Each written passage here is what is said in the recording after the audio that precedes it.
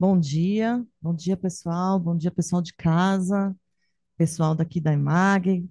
É, bom, é um grande prazer hoje a gente receber a Branca Viana, né? Quem é a Branca Viana? Ah, eu brinquei na hora que eu cheguei que a, quem, quem já ouviu os podcasts da Rádio Novelo tem a impressão que a Branca Viana é, uma, é a nossa grande amiga de infância, né? Porque ela vai com a gente em todo lugar e, a gente fica escutando a Branca. Então, ela, ela acaba, além de ser a nossa amiga de infância, então, quem é Branca, né? A Branca é linguista e intérprete simultânea, exerceu essa profissão por 25 anos até se tornar podcaster. Mestra em, em Linguística pela University College London e mestra em intérprete de conferência pela Université de Geneve. É graduada em Letras pela PUC do Rio. Em 2019, fundou a produtora de podcasts Rádio Novelo, no Rio de Janeiro. Hoje a maior produtora de podcasts com DNA jornalístico do país, responsável por mais de 20 produções entre podcasts próprios e para clientes. Em 2020, foi lançada a primeira série original, Praia dos Ossos, referência no estilo narrativo de podcasts em língua portuguesa, que ultrapassou 5 milhões de downloads em três anos. Em 2002, foram produzidos outros três projetos originais: Crime e Castigo, Tempo Quente e Rádio Novelo Apresenta. Podcast semanal narrativo da produtora, além do projeto Querino, que traz um olhar afrocentrado sobre a história do Brasil. No ano passado, nasceram mais dois episódios de podcasts da Rádio Novelo Apresenta. Mexer no Vespeiro e O Visconde, que trazem à tona o passado escravocrata da sua família. Bom, é, quando, quando surgiu a ideia de chamar a Branca aqui, a gente conseguiu conversar com a Branca, a ideia era pedir para a Branca fazer uma palestra para ela contar como que foi essa incursão jornalística no mundo do judiciário, no mundo da justiça, é, da praia do que começou na Praia dos Ossos e a Praia dos Ossos é, foi uma coisa tão inquietante que acabou gerando o crime e castigo. E aí, na hora que eu fui conversando com a Branca, a Branca falou assim: não, mas eu não, eu não dou palestra, eu não quero dar palestra e tal. Então, a gente, a gente propôs uma roda de conversas. Então, por isso, primeira coisa que eu peço para que todo mundo que está aqui, que está em casa, que participe, que faça perguntas, é, porque não é uma palestra, né, Branca? É uma roda de conversas. É, eu vou dar o pontapé inicial, caso alguém esteja tímido, e, e aí, assim, acho que a gente pode começar você contando um pouco a história do, do da Rádio Novelo, dos, dos podcasts, e como foi para você entrar nesse mundo, né? O mundo do judiciário, o mundo da justiça. Esse mundo é uma caixa preta, efetivamente, né? É, completamente. Oi, tá? É, é uma caixa preta. É, é, vocês vocês sabem disso melhor do que eu, é uma caixa preta mesmo. E para quem está de fora, é muito. É um pouco assustador, porque é uma caixa preta que tem um poder imenso sobre a vida da gente, sobre a vida de qualquer pessoa. Menos sobre a vida de uma pessoa como eu, que sou uma mulher branca, de classe alta. Então, no meu caso, é, o poder é menor. E isso é um dos grandes problemas do nosso país. Né? Mas mesmo para mim, obviamente, eu não quero ter nada a ver com vocês. Nunca na minha vida. No, se eu puder passar a vida inteira sem ter que, sem ter que lidar com o judiciário de um modo geral, é melhor. Eu acho que essa é a sensação de todo mundo, justamente porque dá muito medo, porque o poder é muito grande. E o poder é muito grande e a transparência não. Então a gente fica realmente muito à mercê, muito assustada. Quando a gente fez o Praia dos Ossos, que é sobre o assassinato da Ângela Diniz, que é um, um, assassinato que aconteceu nos anos 70 e todo, tudo que aconteceu na defesa do assassino dela, é, em que ela foi acusada de provocar a própria morte né, pela conduta dela. É, então, a gente não esperava atingir o judiciário, jamais, assim, não passou pela, realmente não passou pela cabeça. A gente fez um nós não somos especialistas, não tem uma pessoa que seja advogado ou que tenha qualquer relação com o judiciário na equipe. A gente, obviamente, a gente leu muito, a gente estudou muito, a gente falou com muita gente, a gente pesquisou muito. Praia dos Ossos levou dois anos para fazer, o Crime e Castigo levou quase isso, levou um ano e um ano e seis, mais ou menos, ou até um pouco mais. É, porque, é, porque é tudo muito complexo, né? É muito difícil. É difícil da gente entender. e é difícil da gente dar opinião. Mas quando saiu Praia dos Ossos, a gente teve a grata surpresa que aí nesse caso realmente foi uma surpresa, porque as pessoas me perguntam muito: "Ah, você se surpreendeu com o sucesso do Praia dos Ossos?" E a minha resposta sincera é não. não. Não me surpreendi porque é muito bom. É muito bom, foi muito bem feito, foi muito pesquisado, é uma equipe gigantesca. A gente entrevistou mais de 60 pessoas. A equipe do Praia tem mais de 40 pessoas de profissionais que trabalharam, entendeu? Uma gente muito boa, muito especializada. Ficou muito bom. A história é excelente. A história em si é excelente. É uma história que envolve sexo e drogas e pessoas glamurosas e os anos 70 e as feministas. Quer dizer, tem muita coisa. Eu sabia que ia ser um sucesso. Jamais, jamais passou pela minha cabeça, nem ninguém da equipe, que fosse ecoar no judiciário, mas nunca. Realmente foi uma, foi uma surpresa. E foi uma grata surpresa, porque, é, porque justamente como é uma caixa preta, é, para mim e para especialmente para mim e para Paulinha e para Flora que fomos as pessoas que mais participamos de eventos é, com pessoas do, do direito de modo geral inclusive faculdades de direito eu perdi a conta da quantidade de lives durante a pandemia que eu fiz em faculdade de direito do Brasil inteiro assim muita muita coisa é, porque justamente é uma caixa preta, então nós somos pessoas curiosas, a gente quer saber. A gente quer saber o que vocês acharam, a gente quer saber como funciona, a gente quer saber o que a gente acertou, o que a gente errou, entendeu? Então foi assim, um, tem sido desde 2020 um debate muito, muito, muito rico com, com, com professores de direito, com pessoas do judiciário. Esse é o primeiro evento, aliás, ao vivo que eu faço. Eu já fiz alguns, é, alguns online, especialmente com o pessoal do TJ de Minas, porque, porque obviamente, Praia dos Ossos, Diniz, Minas Gerais e tal. Então, eu fiz dois eventos lá com eles, na, com elas, aliás, é, elas e eles, mas elas aqui organizaram, um para o Praia e um para o Crime e Castigo. São pessoas com quem eu tenho contato até hoje. É, e, e, e para a gente é muito rica essa troca, sabe? Para a gente tentar entender o, sabe, o que, que vocês pensam do, do nosso trabalho, sabe? E o crime e castigo, especialmente, porque o crime e castigo é mais complexo. Em termos jurídicos, ele é muito mais complexo, que para é um crime, um, dois julgamentos, mas uma defesa, enfim, absurda, que todo mundo concorda que é absurda, todo mundo concorda com aquele com aquele final né, que aconteceu. E o crime e castigo não. O crime e castigo a gente trata de casos cabeludos, com muita ambiguidade, com muitas soluções possíveis, boas e ruins. Então, foi muito interessante. Eu gosto demais. Fase, né, do crime e castigo, né, que é aquela que fica ecoando, e o champinha, né, então, que, que, é, que aí é, você tenta explicar uma coisa, aí você fala, mas e o champinha? E, e da onde surgiu a ideia do, de, de recontar essa história da Angela Dias, que é uma história antiga, né, uma história muito antiga, da onde que surgiu a ideia? Porque se a gente fosse pensar, né, em contar a história de um feminicídio, fica fácil, né, tem tantos.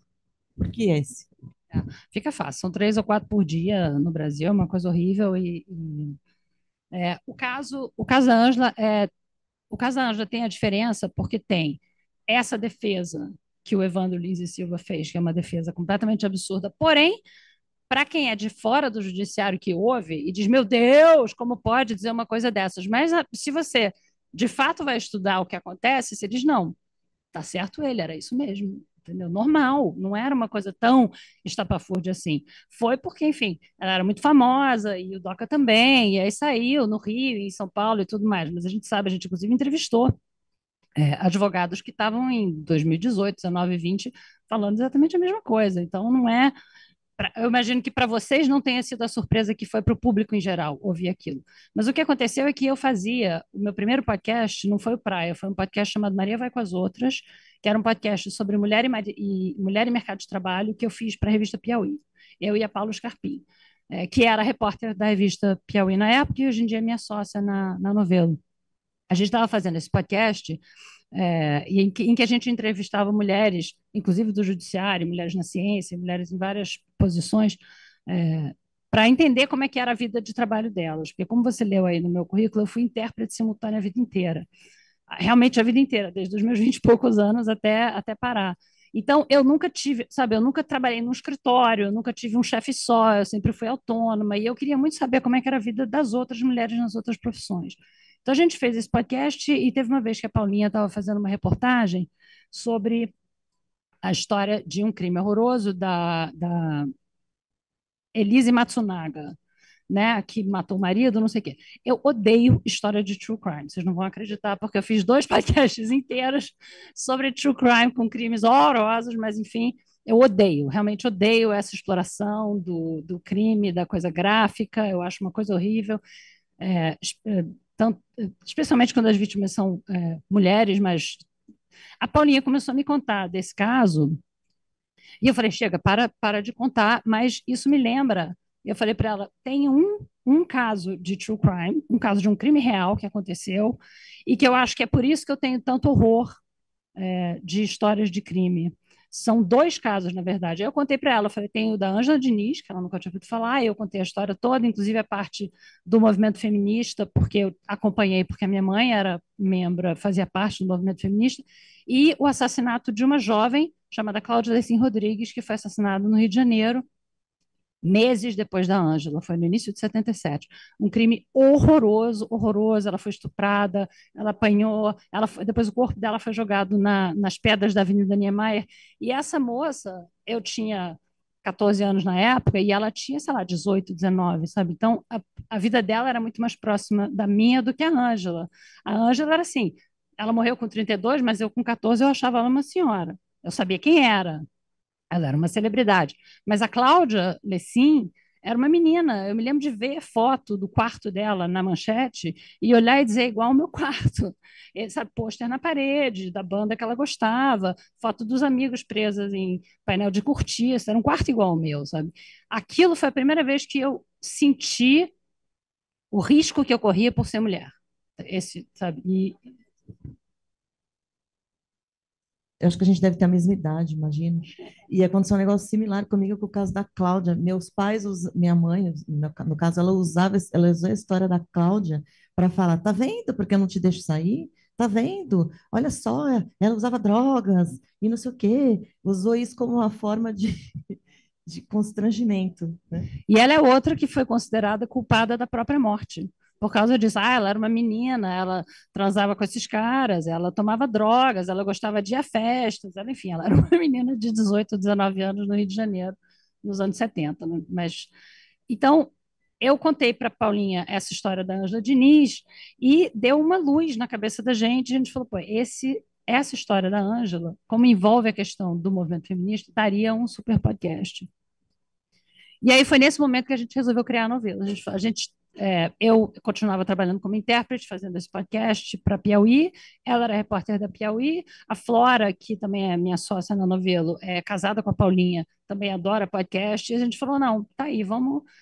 Esse é um podcast que a Piauí não vai querer fazer, não tem orçamento, não tem equipe, não teria interesse, mas a gente quer fazer, vamos criar a nossa própria produtora, entendeu? Aí todo mundo parou de fazer o que fazia.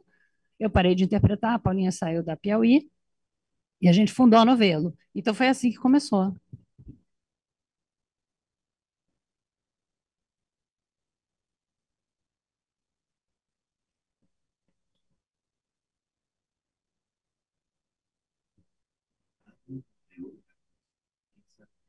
É, eu, para gente, o direito, o poder da imprensa também é uma caixa preta. E sempre parece é, é, mover pessoas, trazer consequências. Então, assim, é, a gente já tem casos objetivos de podcasts de true crime que levaram a consequências é, reais, sensíveis. Tipo, o caso Evandro fez reabrirem a revisão criminal o podcast do Chico Felice fez fechar a, o, o ateliê do, do sujeito. É, o quanto vocês são conscientes disso? É, vocês lidam com essa possibilidade? Você, é, é vocês já enfrentaram uma situação assim em algum momento? De olhar falar, é, meu Deus, isso aconteceu por causa do meu podcast. Graças a Deus, não. Porque isso pode acontecer para o bem ou para o mal. E, a gente não tem controle. Então, é, a gente tem controle, não é verdade? A gente tem controle sim. Então, tudo isso tem que ser feito com muito, muito, muito cuidado. E esse é um dos motivos que eu não gosto de podcast de true crime. Primeiro, eu não gosto de crime, eu tenho medo, eu fico assustada, de, enfim, tenho horror a essas coisas. Mas. É, produção de um modo geral, não só podcast, documentário, ficção, porque hoje em dia é assim, né? Você tem um crime horrível, um crime hediondo, horrível, ele vira um podcast, depois vira um documentário, aí vira uma série de ficção, aí vira um filme que vai para o cinema, então tem uma exploração, assim, ad eterno daquela tragédia, que é uma tragédia que vocês sabem melhor do que eu, acontece com pessoas com pessoas, com a família, com a família da vítima. A gente vê nesses casos que a gente explorou no Praia e no Crime e Castigo que destrói todo mundo em volta. Eu acho que isso é uma coisa que as pessoas não, é, não têm tanta noção porque não acompanham. Vê no jornal, fulana morreu, Beltrano aconteceu não sei o quê. Não entende o efeito de décadas que isso tem para todo mundo no entorno, a família, os amigos. É um, é um trauma realmente muito muito, muito, muito profundo. No caso da família da Ângela, destruiu a família dela, destruiu completamente a família dela. A, a mãe dela morreu deprimida pouco tempo depois dela, a irmã está viva, mas tem uma depressão profunda até hoje, já de 30 anos, tipo, não sai de casa. É, um filho morreu de um acidente de carro pouco tempo depois. Um outro filho teve um acidente também e ficou com lesões terríveis. Quem cuida dele é a irmã. A única pessoa que, que conseguiu é, continuar ou, e ter uma vida, enfim, ter uma vida, uma profissão e família e tal, foi a filha dela. O resto da família acabou, a família foi destruída. Não só pelo, pelo ato em si do assassinato da Ângela, mas pelo que a imprensa fez com a Ângela, entendeu? Aí, eles eram adolescentes na época, os filhos, e, é, enfim, a mãe era uma senhora, e eles tiveram que ficar de 77, né, 76, ela morreu em 76, mas na virada do ano, né? Então, de 1977 até 1981, e depois, ouvindo que a mãe era uma vadia, que ela tinha, que ela era culpada da própria morte, que absurdo, que ela era uma mãe desnaturada, que ela não amava os filhos. Isso acabou com a família, isso destruiu a família. Então, tem que tomar muito, muito, muito cuidado quando você vai lidar com essas questões, né? No, no, no, caso dos, dos, crimes de que a gente tratou, tanto no Praia quanto no Crime Castigo, eram questões já resolvidas. Não tinha, assim, é, não tinha ninguém na prisão que fosse sair ou ficar. É, então, facilita um pouco, porque a questão está resolvida, não tem muito uma consequência que, né, que possa. É, fora a exposição das pessoas, né? Que isso é uma coisa que a gente tomou muito cuidado. No caso do Praia, de é, de proteger a família da Ângela. A gente não fala dos filhos dela, a gente não fala dos filhos do Doca, a gente não fala da família de ninguém. Porque eles não têm nada a ver com isso. Eles não têm absolutamente nada a ver com isso. Então, a gente só conta o que era público na época. A gente usa os, o jornal e as rádios e televisões e tal para falar disso. É, no caso do crime e castigo, a gente teve a anuência das pessoas que foram falar com a gente, porque foram pessoas que concordaram em contar suas histórias. Né? E eu acho que a imprensa pode ter um papel positivo e um papel nocivo, muito, muito, muito nocivo. Tem um, tem um livro que eu gosto muito de citar, que é de, de umas jornalistas, falando sobre como a imprensa trata de casos de feminicídio. E o livro se chama. É, é, como é que é o negócio? É morte é, casos de morte matada contadas como morte morrida. Esse é o título do livro. Então, e elas explicam como a imprensa faz e como poderia fazer para melhorar. Então, diz assim: mulher encontrada morta, assim assado, não sei como. Como assim encontrada morta? Que aconteceu? Ela teve um, um ataque cardíaco? Como assim encontrada morta? A mulher está toda esfaqueada. Não, assassinada. Ela foi assassinada por alguém. Às vezes sabe-se quem foi. Às vezes o cara está lá, na frente, aquele caso daquela juíza que foi assassinada pelo marido no Rio de Janeiro, na, no Natal, na frente dos filhos, na frente de um shopping, na frente, entendeu? O cara estava lá na frente. E aí diz que ela, fulana, foi esfaqueada. Não, Beltrano esfaqueou, entendeu? Bota na voz ativa. E elas dão várias dicas desse tipo, sabe? De erros que são cometidos, é, sei lá, mulher é jogada da janela. Como assim, entendeu? Quem, jogou? Foi um ser mágico que jogou, né? É, então, esse tipo de cuidado tem que ser tomado. Eu acho que a imprensa pode ter um papel muito positivo de explicar as coisas, e aí, para isso, a gente depende de vocês, que vocês expliquem para a gente em linguagem de gente, tá? Em linguagem de gente, pelo amor de Deus, porque é um, é um hábito, né, de falar com uma linguagem técnica que a gente realmente não entende, a gente não está fingindo que a gente não entende, a gente de fato não entende explicar para a gente as coisas como funcionam e, é, e os repórteres, jornalistas também terem a responsabilidade de não sensacionalizar e de tentar entender. É muito difícil tentar entender. as questões do judiciário, não só no Brasil, no mundo inteiro. Faz sentido que seja complexo, está lidando com questões muito complexas, né? especialmente a justiça criminal. Então, é difícil mesmo. Então, você tem que parar e você tem que ter o tempo necessário para entender, para ler, para conversar com as pessoas, para poder é, transmitir aquilo para o público de uma maneira responsável.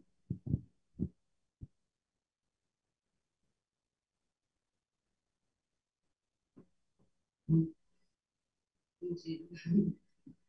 É, falando especificamente sobre o crime castigo, né? primeiro eu achei assim, um ano e meio realmente bem mais técnico, né? O. Uma dúvida técnica e uma dúvida seria, assim, olhando até. O Belton da, da impressão assim, que no início realmente vai assim, em direção à justiça restaurativa, né, como solução de várias questões complexas hoje acaba meio né, assim, essa, essa experiência aí, eu também pensando assim, na época da faculdade, a entra, pensando várias, várias ideias assim, diferentes também ao longo da vida. A gente vai tomando conhecimento da complexidade de tudo, né, da estrutura, da, do processo em si, enfim. Então, acho que eu ter essa noção, assim, realmente, para essa a impressão do ouvinte foi, foi respondeu o que aconteceu com quem estava pesquisando, né, e sobre a pesquisa em si, chegou aquelas histórias, essa, situação de ter sido concluídos os julgamentos que foi um critério, é, funciona, né, para escolha do tipo de crime. A gente isso, isso, é, isso é trabalho de produtor, né? De produtor, no nosso caso, de produtora. É, é impressionante. Pessoas que são é, produtoras, e, e, muitas das produtoras são mulheres, são pessoas que conseguem fazer isso, conseguem achar personagem, é como a gente diz. Eu quero achar um personagem. Então, eu quero uma pessoa que seja vítima, eu quero uma pessoa que seja ofensora, eu quero uma pessoa que tenha que tenha passado, passado pela prisão ou não, uma pessoa que foi condenada, uma pessoa que foi absolvida, eu quero um caso de, de abuso sexual, eu quero um caso que seja homicídio e tal, e você vai, vai é, fechando assim, e a produtora sai atrás, sai atrás de pessoas que queiram falar, porque, obviamente, por motivos totalmente compreensíveis, as pessoas que passam por esse tipo de experiência não querem falar, não estão interessadas em falar. Então, é, a gente, você vai falando com as pessoas que você consegue falar, né? Teve, é, enfim, muita gente não quer, muita gente bate o telefone na sua cara, nunca responde, às vezes diz que vai, diz que vai responder, mas não, mas não responde. É, então, essa é a parte de, de como que a gente acha os casos. A questão dos casos já terem, uh, já terem todos se encerrado era importante justamente por causa disso, porque a gente não queria interferir nos processos em andamento, fosse qual fosse. Porque porque a gente não sabe nada, entendeu? A gente, não, a gente não sabe nada. Você não sabe o efeito que você vai ter. Você pode ter um efeito positivo. É, tem um caso famoso nos Estados Unidos de um podcast, aliás, excelente, chamado In the Dark, que teve é, dois episódios. Você conhece? É sensacional aquele podcast. Que tirou um cara da que estava condenado à morte. Então, e, esse, e ele realmente era inocente mesmo. Ele tinha sido estava preso há décadas e ele foi solto e enfim, não tinha sido ele e foi resultado desse podcast. Mas pode, o efeito, uh, a chance de ter um efeito positivo assim é muito menor, na minha opinião, do que a chance de ter um efeito nocivo sobre um, um caso qualquer que ainda esteja em andamento. Então, esse era mais ou menos um cuidado que a gente, que a gente tinha, sabe? A gente estava tratando de casos do passado. Uma outra vantagem de você tratar de casos que, do passado é que você, as pessoas tiveram tempo de refletir. Se você está tá tratando de um caso muito em vivo, as pessoas envolvidas ainda não tiveram tempo de refletir, ainda não entenderam as consequências que aquele caso vai ter nem para o processo em si, nem para a vida delas no, é, e, da, e, a vida da, das famílias. Então, para a gente era importante que fossem pessoas que tivessem refletido, e isso implica ter passado um certo tempo. É, em questão de, de pesquisa, Assim, foi uma loucura o crime e castigo. Demorou muito tempo, porque a pesquisa era muito complexa, era muito difícil. A gente demorava muito para entender. A gente tinha que é, tentar falar com as pessoas que a gente conhecia do judiciário, para explicar para a gente ó, o que está acontecendo aqui, o que, que esse cara quer dizer. A gente leu muito sobre teoria, muita, muita coisa. É, que, que, como vocês sabem, é difícil de entender. Eu imagino que até para vocês é difícil de entender, mas para a gente é assim, realmente muito hermético. É, e a gente conversou com muita gente, mas o mais difícil do crime e castigo foi o, o roteiro foi conseguir fazer um roteiro que fizesse com que o ouvinte quisesse passar de um episódio para o outro. Isso no praia é fácil. Isso no praia é muito fácil. Você está contando uma história, não exatamente em ordem cronológica, você está contando uma história que tem começo, meio e fim, você tem uma série de elementos que faz com que as pessoas queiram. A gente não está falando do crime, na verdade, a gente fala do crime no primeiro episódio, depois acabou. O segundo, a gente fala do julgamento. O terceiro, a gente já está em Minas, com ela fazendo baile de debutante, depois os namorados, aí depois aparece o DOCA, as feministas e tal. Então, é mais fácil você conseguir fazer. Apesar de que também demorou para caramba. A gente teve que ter roteiristas que fazem, trabalham com televisão e tal. Mas no Crime Castigo, em que a gente falava de um caso diferente em cada episódio, casos horrorosos, em que as pessoas que estão dando entrevista estão chorando. Você diz como é que a gente vai fazer que os ouvintes queiram passar de um episódio para o outro. E isso foi o que mais demorou. Mais demorou, a gente chegou a trocar de equipe de roteirista. A gente estava com dois roteiristas que não conseguiam fazer, a gente trocou, aí a gente achou uma roteirista maravilhosa, adoraria que ela tivesse mais tempo para trabalhar com a gente, mas era muito ocupada, chamada Ludmila Naves, que estava acompanhando a gente naquilo tudo, e, e, a gente não conseguia fazer a ligação de um episódio para o outro. E a, e, a, e a Ludmilla, que não estava fazendo pesquisa, ela era só roteirista, ela ouvia eu, Paulinho e Flora falando sobre as coisas que a gente tinha aprendido, as conversas que a gente tinha tido, a gente falando com, com juízes, com enfim, com todo mundo. E ela, de repente, deu uma luz nela, ela falou, gente, é isso. O que o ouvinte vai querer para juntar os episódios é essa conversa que vocês estão tendo aqui, que eu sou a única pessoa que estou ouvindo essa, essas dúvidas de vocês, essas inquietações de vocês, essas reflexões de vocês três, é isso que vai fazer juntar os episódios.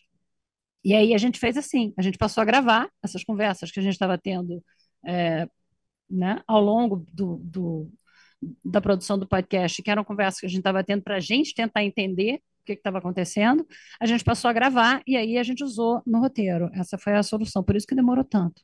Na verdade, as entrevistas e tal já estava tudo feito e a gente não sabia como montar.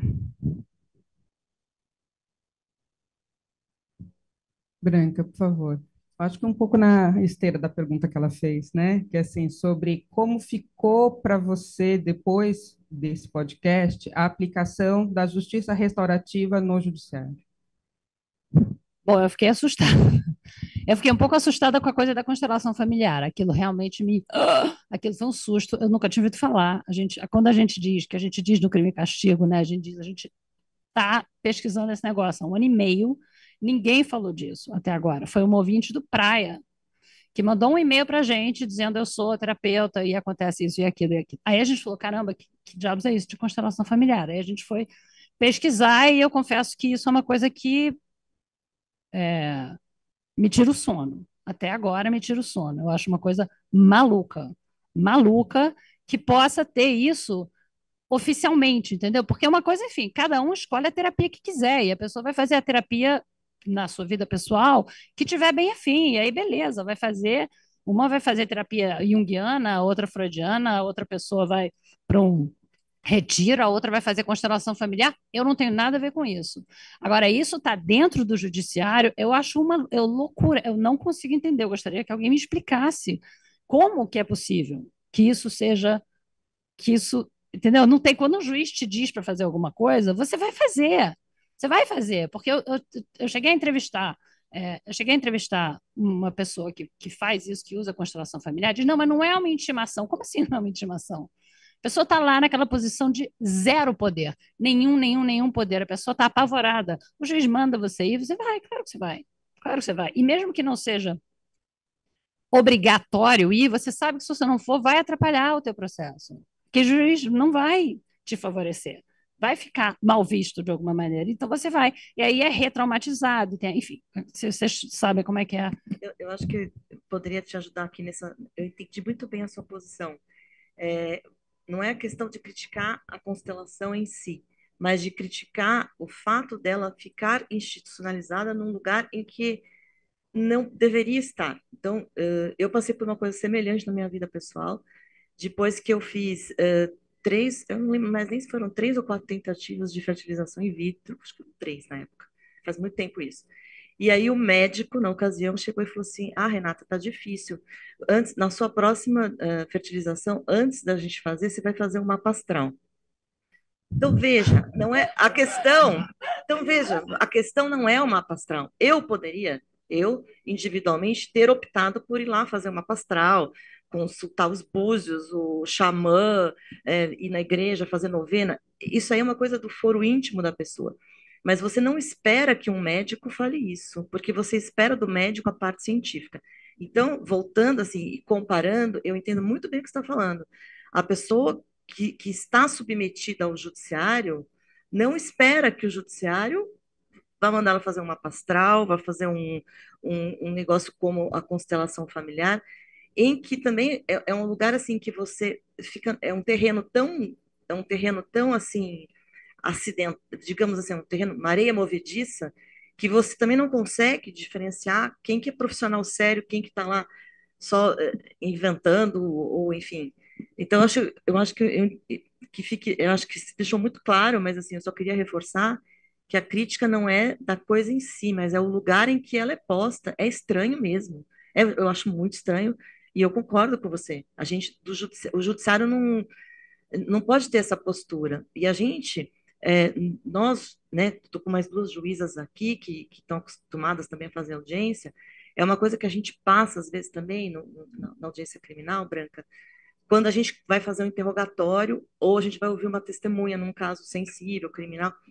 em que você às vezes está fazendo uma pergunta, às vezes a gente até se empolga que a gente quer saber mais, e aí às vezes a gente fala assim, não, talvez eu, aqui eu vou passar o meu limite, porque eu não sou, a gente não é psicólogo, a gente não tem, a gente não tem essa formação e não, e sobretudo não é o nosso papel, né?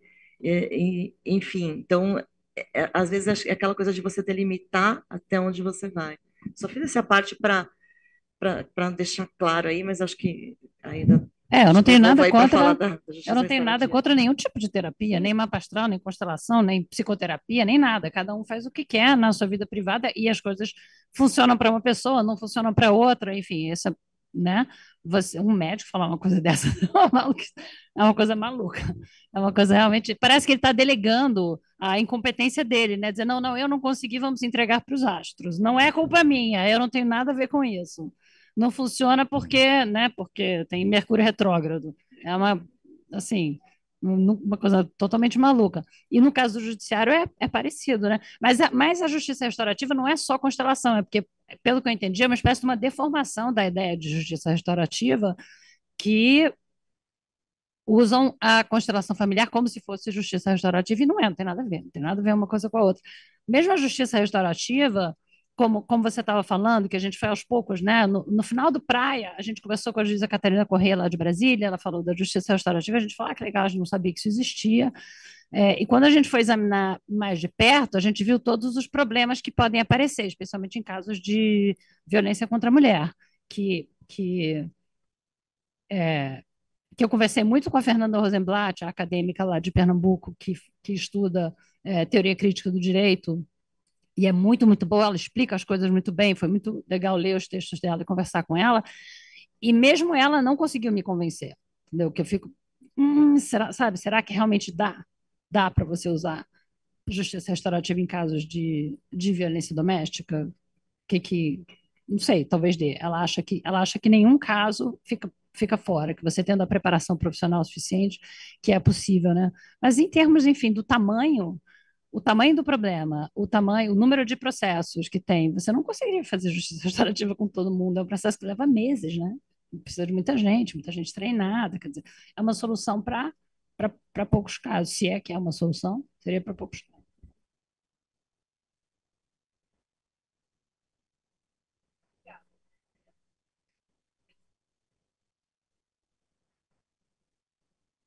Ah, agora foi.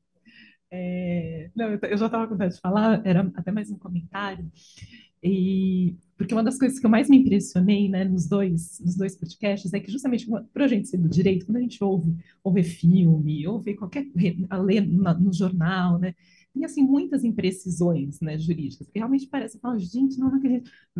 Conversando com o jornal, eu sempre escrevo com o Ombudsman da Folha, eu falo, não, não é isso, não é que. Então, assim, e de fato, assim, está super explicado, porque é difícil mesmo, é a mesma coisa a gente falar de coisas médicas, a gente, por exemplo, aqui tem ação de saúde.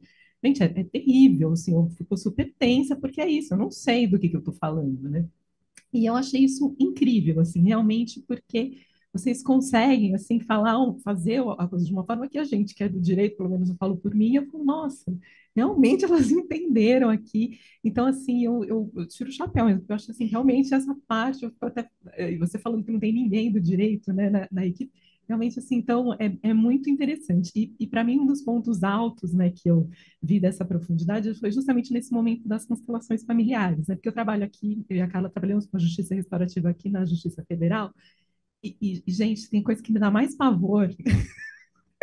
é quando mistura justiça restaurativa com constelação familiar.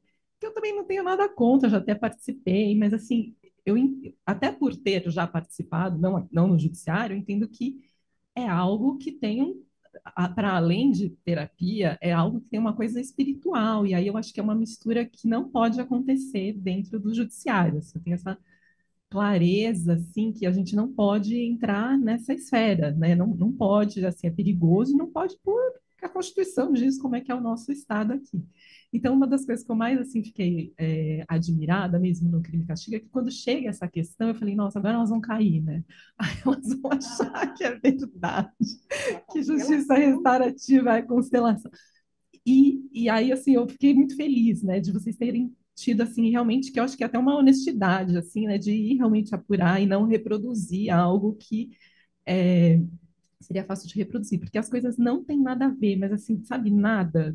A justiça restaurativa tem uma origem nas práticas ancestrais indígenas, né? E a, e a constelação familiar vem de, uma, de, um outro lugar, né, que não, não, não tem, né? Então, isso é uma coisa que eu realmente fiquei muito, muito feliz. E, assim, existe até um movimento para proibir, né? Assim, tem já no, no, no CNJ, um, assim, esses dias eu vi que tem um projeto de lei que está nesse sentido. É, o projeto de lei é até engraçado, porque ele fala assim, supo, a lei, nunca vi assim, o artigo da lei, a suposta prática gente, tá escrito assim, uma suposta prática terapêutica. Falei, gente, esse artigo não vai passar assim. Mas, enfim, é um movimento que preocupa mesmo. É, mas eu só queria assim, dizer que realmente não tem uma, uma relação e que, de fato, né, acho que essa constatação né, de que não dá para fazer justiça, trocar a justiça que a gente tem pela justiça restaurativa, não dá, não dá mesmo, não dá mesmo. Mas, e, e acho que nem a justiça restaurativa se propõe a isso, né? Mesmo quando ela chega no Brasil, ela não se propõe a isso, assim, ela, porque é uma questão de, enfim, já são inúmeras questões, não já ver aqui, mas ela se propõe a atuar em alguns algumas esferas e, né, em algumas esferas e, e, pode ser em crime grave, pode, pode ser. A gente tem experiências no exterior e, que dão certo, enfim, que são bem mas não é para tudo realmente. E essa questão da formação é o grande desafio, porque é isso, né? Você coloca uma pessoa ali que não é formada, que ela pode causar dano ao invés de tentar. Mas então eu só queria fazer assim, esse reconhecimento assim da, da realmente assim de como vocês foram profundas e tiveram uma honestidade de não deixar passar nenhum ponto assim para reproduzir aquilo que você está falando que não quer reproduzir, né? Que é essa essa desinformação. Era só esse. É, é o que a gente, a gente tomou, a gente realmente tomou muito cuidado. A gente ficou assim, foi muito foi penoso, o crime castigo foi penoso. Foi penoso, foi penoso pelo fato de que a gente tinha que entender muita coisa que era muito difícil, muito, muito, muito difícil da gente entender. A gente não queria se confundir. Então a gente não queria simplificar a gente também não queria deixar complexo demais, porque senão ninguém ia entender, porque ninguém tinha passado pelo que a gente tinha passado, de um ano e meio de pesquisa e entrevistando um monte de gente. É, e a gente queria tomar muito cuidado, porque a gente sabia que a gente estava lidando com questões muito, muito delicadas, e a gente estava entrevistando pessoas que eram vítimas, que eram ofensores, etc, etc. E, e, e, tudo que a gente falasse poderia causar um problema na vida dessas pessoas. Então a gente estava tomando muito cuidado muito cuidado com isso também. E de, de, de deixar muito, muito claro que não tem solução mágica para nada na vida, muito menos para isso. muito menos para questões de justiça criminal. Não tem, assim, não tem. E não adianta também dizer, não, imagina, a gente vai resolver tudo, vai ficar tudo em paz, porque as pessoas cometem violências, sempre cometeram, sempre cometerão. Então, não é uma questão é, de ser pacifista nesse sentido de dizer, não, a gente vai todo mundo se abraçar, vai ficar tudo lindo. O que a gente tem que saber é, já que isso existe, já que o ser humano é assim, como é que a gente vai lidar, né? Qual é a melhor maneira de lidar? E aí tem aquela questão de que a maioria das pessoas que estão presas no Brasil estão presas por droga. E é, muitas vezes drogas maconha e quantidades pequenas, enfim, eu acho, eu acho a questão é, carcerária do Brasil uma das maiores do Brasil. Eu acho das, um dos maiores problemas do nosso país é a questão carcerária, porque, obviamente, vocês sabem muito melhor do que eu, envolve um aumento imenso da violência e da criminalidade no país. Né? É, e isso, eu só vejo isso piorar. Entendeu? Essa questão das saidinhas, por exemplo, eu vi a imprensa, você está falando da imprensa, esse é um caso. Eu estava vendo a imprensa tratar essa questão de vai ter saidinha, não vai ter saidinha, como se fosse um, uma briga entre governo e, e o Arthur Lira, ou o Congresso. Então era assim: derrota para Lula, vitória para Lula, derrota para Arthur Lira. E eu dizia, gente, imprensa, isso assim, o Globo, a Folha, o Estadão, os grandes jornais, eu dizendo, não é. Isso é derrota para o Brasil. Vocês têm que explicar o que, que é essa questão. Não é uma derrota para o Arthur Lira que vai ou não vai ganhar a prefeitura de Maceió, ou o Lula que vai ganhar ou perder. Não é isso. A, a, obrigação da imprensa é explicar o que, que é, para que o público entenda e aí possa fazer pressão para o lado que quiser a pessoa acha que não pode ter saidinha, então vamos entender por quê. Não é porque o, o Lira vai ganhar ou o Pacheco vai ganhar. Entende a questão, o que, que significa, o que, que é a saidinha do preso, o, a consequência que isso vai ter nas penitenciárias. Passou, né? Eu acho que passou já. Eu acho que passou já, né? Eu acho que agora não vai ter, enfim. Mas é uma dessas questões jurídicas complexas que foram tratadas como se fosse um fla-flu entre o, sabe, entre o governo e o Congresso. Ah, um ganhou, perdeu. Ah, essa foi mais uma derrota para o Lula. Não é mais uma derrota para o Lula, é uma das questões mais importantes do Brasil, a questão carcerária, que precisa ser pensada é, em, em profundidade, está afetando todo mundo. A pessoa está saindo na rua e vai perder o celular, pensa nisso. Pensa no, no, na, na, na causa disso tudo, entendeu? Pensa o que que você sair na rua aqui e perder o seu celular tem a ver com a questão de que o Brasil é o terceiro maior país do mundo, da maior população carcerária no mundo. Daqui a pouco a gente passa a China, não tá? É só que a China tem muito mais gente. Isso, é, a Cibele do Zoom levantou a mão, vou passar a palavra, aí depois a gente passa aqui. Pode abrir o microfone, Cibele. Ah, obrigada. É, em primeiro lugar, eu eu queria dizer, eu não tenho palavras para dizer o quanto eu admiro é, o trabalho feito pela Rádio Novelo. Eu sou muito fã e é, contextualizando, eu sou oficial de justiça, então eu estou sempre na rua, sempre dirigindo. E os podcasts da Rádio Novelo foram um, uma alternativa muito rica porque eu não podia acompanhar a notícia, porque entre uma diligência e outra eu perdia o fio da meada. E então os podcasts foram maravilhosos e me acompanham todos os dias. Eu eu acho que eu ouvi quase todos, é que eu não ouvi todos os episódios da Rádio Novela Apresenta, mas eu me tornei fã a partir do projeto Quirino. Enfim, e eu vi vários, vários é, queria dizer o seguinte, que quando foi colocado pela Branca que é, é algum, alguém da, da, da plateia disse que é, perguntou se, se tinha influenciado na vida de alguém, eu queria dizer que influenciou na minha porque ouvir Projeto Quirino mudou totalmente a minha concepção. Eu sou uma pessoa diferente. Ouvi episódios sobre o poder do vestidinho caiapó, redução de danos, o que está por trás da história da Varig. Foram é, é, são histórias muito grandes, é, muito grandes, muito muito aprofundadas, muito pesquisadas e enriquecem demais e têm o poder. É, e eu queria dizer isso, né? Que tem o poder de mudar a, a própria uh, vida da pessoa, a, a, maneira como se pensa. Então, é, então é isso que eu queria trazer aqui, que sim, que tem o condão de mudança, no meu caso, uma mudança muito positiva. E é isso, muito obrigada por toda essa riqueza que, que é proporcionada. E ah, mais uma coisinha, é, eu achei assim de uma importância extrema é, no, em crime e castigo é, ser trazida a diferença, a diferença não, mas ser colocada o termo justiça como sinônimo de vingança, porque realmente a imprensa ela reforça isso que não é uma verdade. Uma coisa é justiça, outra coisa é vingança. E, e, e na maioria dos, das reportagens que a gente assiste na televisão, o repórter insiste em falar e o que você se, e o que você deseja depois disso? E a pessoa invariavelmente responde: eu desejo justiça. E na verdade ela está querendo dizer que ela deseja vingança. Então, é, e nesse, nesse aspecto, é, Crime e Castigo tem um trabalho muito bacana de, de trazer, de, de jogar os holofotes em cima desses termos e acaba esclarecendo a sociedade, ou pelo menos quem ouve esses podcasts, e tem um, a, a gente acaba tendo uma maior consciência disso tudo. Então, parabéns pelo trabalho, é, sou fã. Obrigada. Obrigada, obrigada. Essa, é, essa isso que ela acabou de falar do que, que é justiça foi, foi o que motivou a gente, né? Porque quando, quando o Praia saiu, o, por coincidência, o Doca Street morreu pouco tempo depois que Praia foi publicado, tipo dois meses depois, uma coisa assim. A entrevista tinha sido feita um ano antes, mais até. É, saiu em novembro de 2020, eu entrevistei o Doca em julho ou agosto de 2019. Então, para mim, aquilo já estava uh, lá no passado.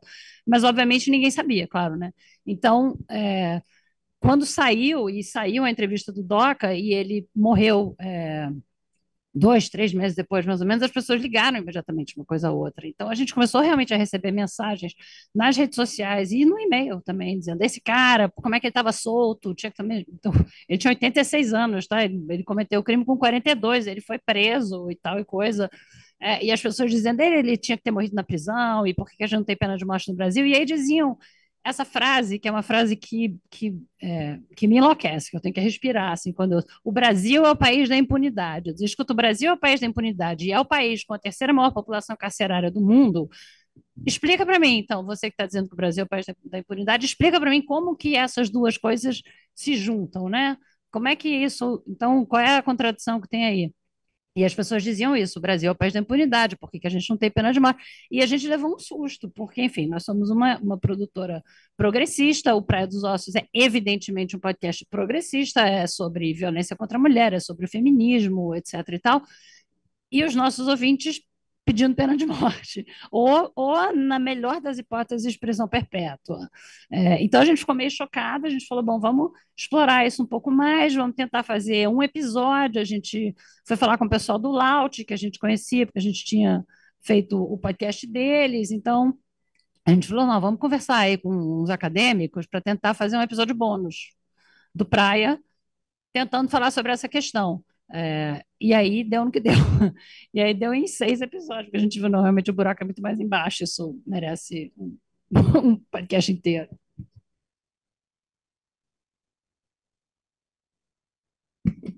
Bom dia, eu também sou uma fã branca, fã incondicional. Desculpa, cheguei atrasado, estava dando aula na PUC, mas já digo que o, o, o Praia dos Ossos eu dou para os meus alunos de processo penal. É trabalho, todo semestre tem, quando eu dou provas, quando eu dou princípios, é, porque é, é, é bem o que estava sendo dito aqui, acho que o grande diferencial é que o Praia, por exemplo, não é sobre o crime.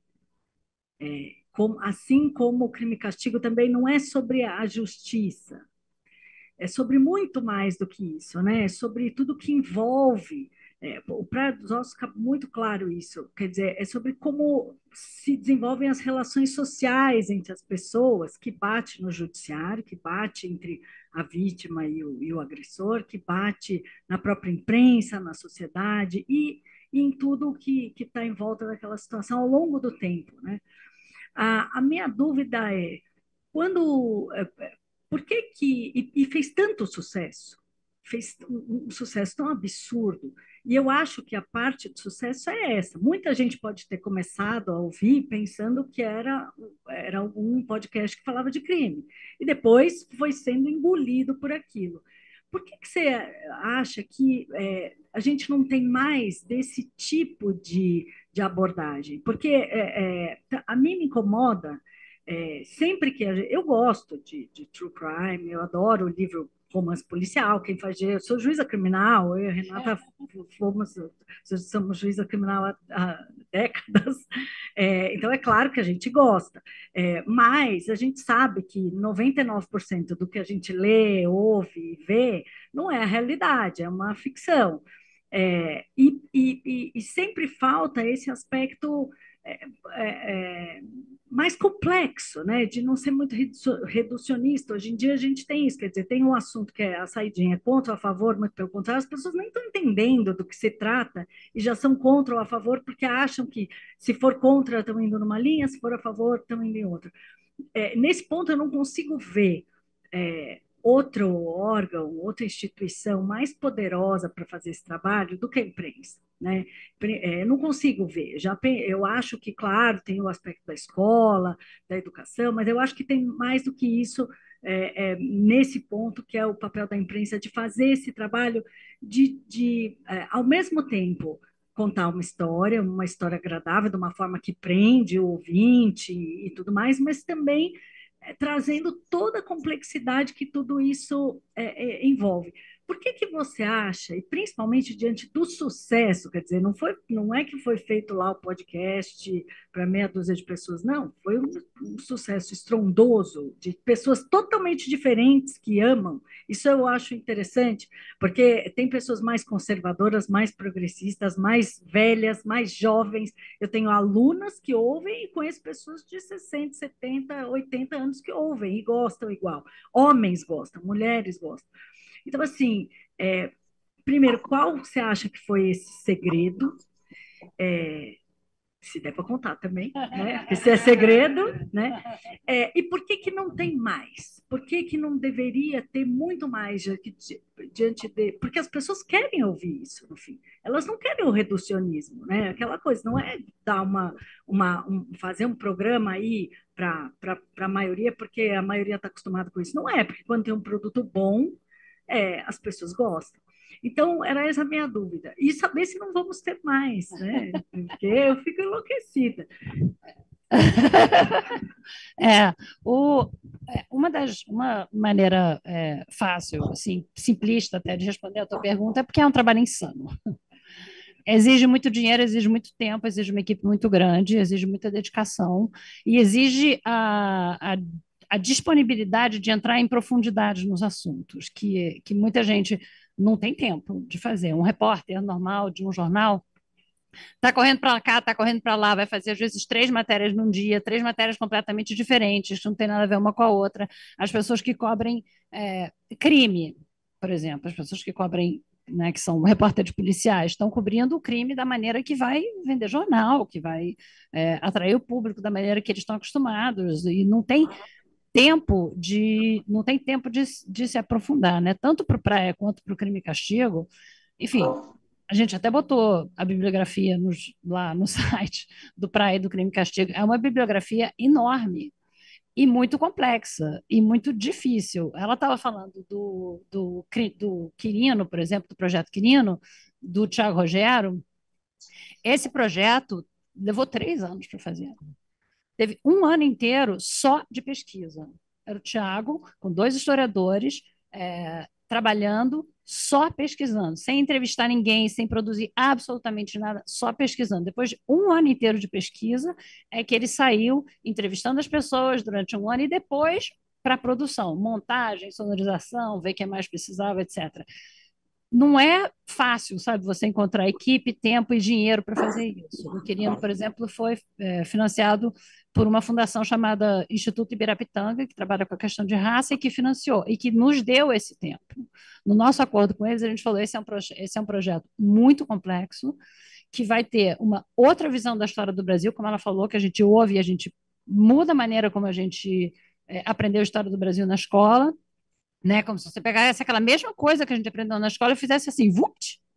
E aí você vê aquela, aquilo tudo que você aprendeu, você vê de um outro ângulo, né?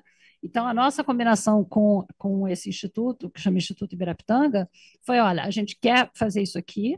Eles falaram, não, a gente está muito interessado. A gente falou, ok, mas a gente precisa de três anos. Vai ter que ser... Foi dois anos e oito meses, na verdade. É Esse é o tempo que a gente precisa. Não, não tem como apressar. Não tem problema a questão do racismo no Brasil. Não é nova não tem urgência, não é uma coisa, não, não é exatamente né, o que você chama de uma notícia quente. Então eles falaram, ok, não tem problema, leva o tempo que vocês quiserem. O Praia levou dois anos, o Crime Castigo levou quase isso também. Porque são questões muito complexas, então a gente não tem como achar que os jornais e que as televisões e, e, é, e hoje em dia as redes sociais, né, o YouTube e tudo mais, vão ter esse tempo e esse cuidado de se aprofundar, né?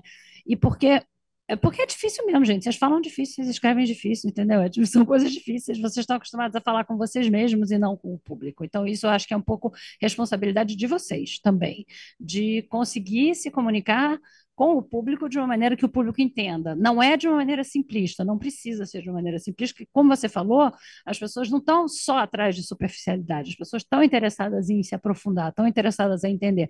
Mas se vocês continuarem falando do jeito que vocês falam, a gente literalmente não entende. A gente, para o crime e castigo, a gente entrevistou dois, dois juízes, cujo nome eu não vou dizer porque eu não me lembro, nem diria, eu não diria, mas eu realmente não me lembro, eu estava tentando lembrar agora, eu não me lembro, e a gente não conseguiu usar a entrevista. Não conseguiu usar, porque não dava para entender o que o cara falava, entendeu? E eu dizia, e eu dizia, ah, é, isso é para o público leigo, será que dá para explicar de outro jeito? Eu dizia, eu não entendi eu não entendi, me explica o que que é. Ah, eu dizia, então, peraí, deixa eu repetir para ver se eu entendi. Aí eu dizia, não sei o que, não sei o que, ele dizia assim, não, não é isso. Então, eu dizia, então me explica o que que é. Mas, assim, entrevistas de duas horas, sabe, longas, profundas, sendo que eu tinha estudado tudo, eu tinha lido tudo, sabe, a Flora estava lá do meu lado, também tinha lido tudo, a Paulinha também, e a gente não entendia, a gente jogou fora. Foram entrevistas que não serviram nem para informação. Porque tem entrevista que você não usa, mas te serve muito, entendeu? Como base, como informação, como background. Essas duas eu olhava e dizia, mas esse homem está falando grego, eu não estou entendendo nada. E isso ele está falando com uma pessoa que é repórter, que é jornalista, que ele sabe que eu não sou do judiciário, ele sabe que eu não entendo, sabe que eu não sou juíza, que nem ele. Então, isso é um problema que eu acho que vocês têm, realmente eu acho que tem. Tem que tentar se comunicar com a gente da imprensa e com o público, mais ainda, de uma maneira mais aberta, sabe? E ser, e ser, mais transparente mesmo, entendeu? Ser mais, ser mais transparente com, com o que acontece dentro do judiciário. Para mim, esse processo todo, desde o Praia, de conversar com pessoas como vocês, foi, juro por Deus, a coisa mais gratificante que veio desses podcasts. Mais do que o sucesso normal do público e tal, que, como eu falei, eu já sabia. Porque realmente eu sei, eu sei, entendeu? Eu não tenho falsa modéstia. Eu sei que a gente faz as coisas muito bem na novela. Eu acho que nós somos realmente uma equipe incrível, um pessoal muito bom. É, então, essa parte eu já sabia e é excelente, é muito gratificante, é maravilhoso. Mas essa abertura de poder, por exemplo, estar aqui conversando com, com pessoas que têm o poder que eu não tenho, é maravilhoso. Para mim é mais gratificante. E seria muito legal se outras pessoas também tivessem essa oportunidade, sabe? Essa abertura de poder conversar com pessoas como você, de, de, de tentar entender o que, que acontece e, principalmente, o que me, o que me, o que me deu esperanças foi ver o quanto de gente tem dentro do judiciário que pensa a justiça de uma maneira crítica e que quer mudar. E não só quer mudar, mas está tentando mudar por um caminho de justiça restaurativa, por outros caminhos, tentando melhorar a questão da justiça é, criminal do, no Brasil e tentando, é, enfim, tentando trabalhar com a questão prisional, que eu realmente acho assim. É, gravíssima, gravíssima, gravíssima, vai, vai nos levar para sabe, para a beira do abismo, para uma situação de, de El Salvador, sabe, do Bukele. Assim, eu acho muito, muito, muito perigoso. E isso tem que ser conversado, sabe? Tem que ter, tem que ter essa abertura para conversar com o público. Então, acho que é de parte a parte. São as pessoas, enfim, a imprensa realmente não tem, não tem tempo, não tem dinheiro para fazer esse tipo de coisa. Eu não, não vai ter outro. Praia dos Ossos, não. Outros, outras séries, sim, sem dúvida, sem dúvida. Outras séries, sim. Mas se eu fosse se eu fosse uma pessoa louca, que eu não sou, e não tenho tempo, e tenho 62 anos, e já uma certa preguiça, entendeu? Já não quero trabalhar tanto quanto eu queria quando eu tinha 30, eu faria uma série sobre que diabos é abolicionismo penal. Porque eu li tanto e eu conversei com tanta gente, e eu até agora não entendi, mas é uma ideia que me atrai. entendeu? Mas eu não sei o que é.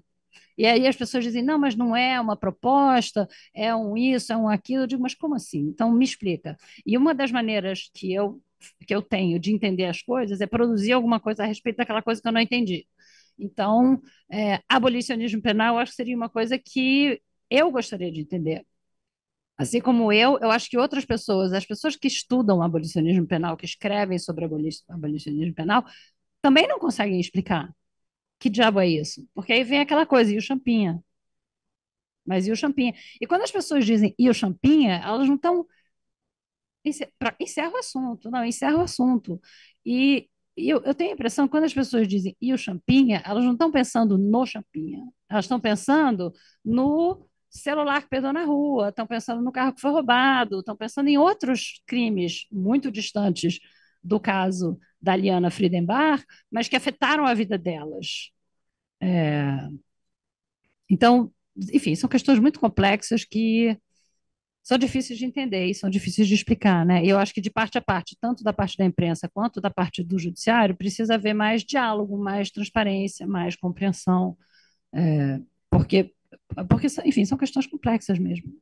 Eu, eu concordo com você que as pessoas não querem necessariamente tudo simplificado. Que quando você, quando você apresenta para alguém, para o público, questões complexas, feitas de maneira cuidadosa, as pessoas gostam.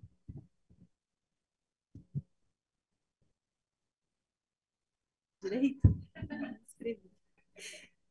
Mais uma vez, é, nossa, muito feliz de estar aqui, de poder te ouvir. Parabéns pelo seu trabalho. A minha pergunta é bem de fã, assim, não, não é nem como servidor aqui. Eu, eu queria saber um pouquinho de bastidor, né? Você falou uh, da entrevista com o Doca, fiquei super curiosa de tentar entender como é que foi para você fazer essa entrevista. E para além disso, qual foi, se foi essa ou não, qual foi a entrevista mais difícil de fazer, considerando os dois podcasts?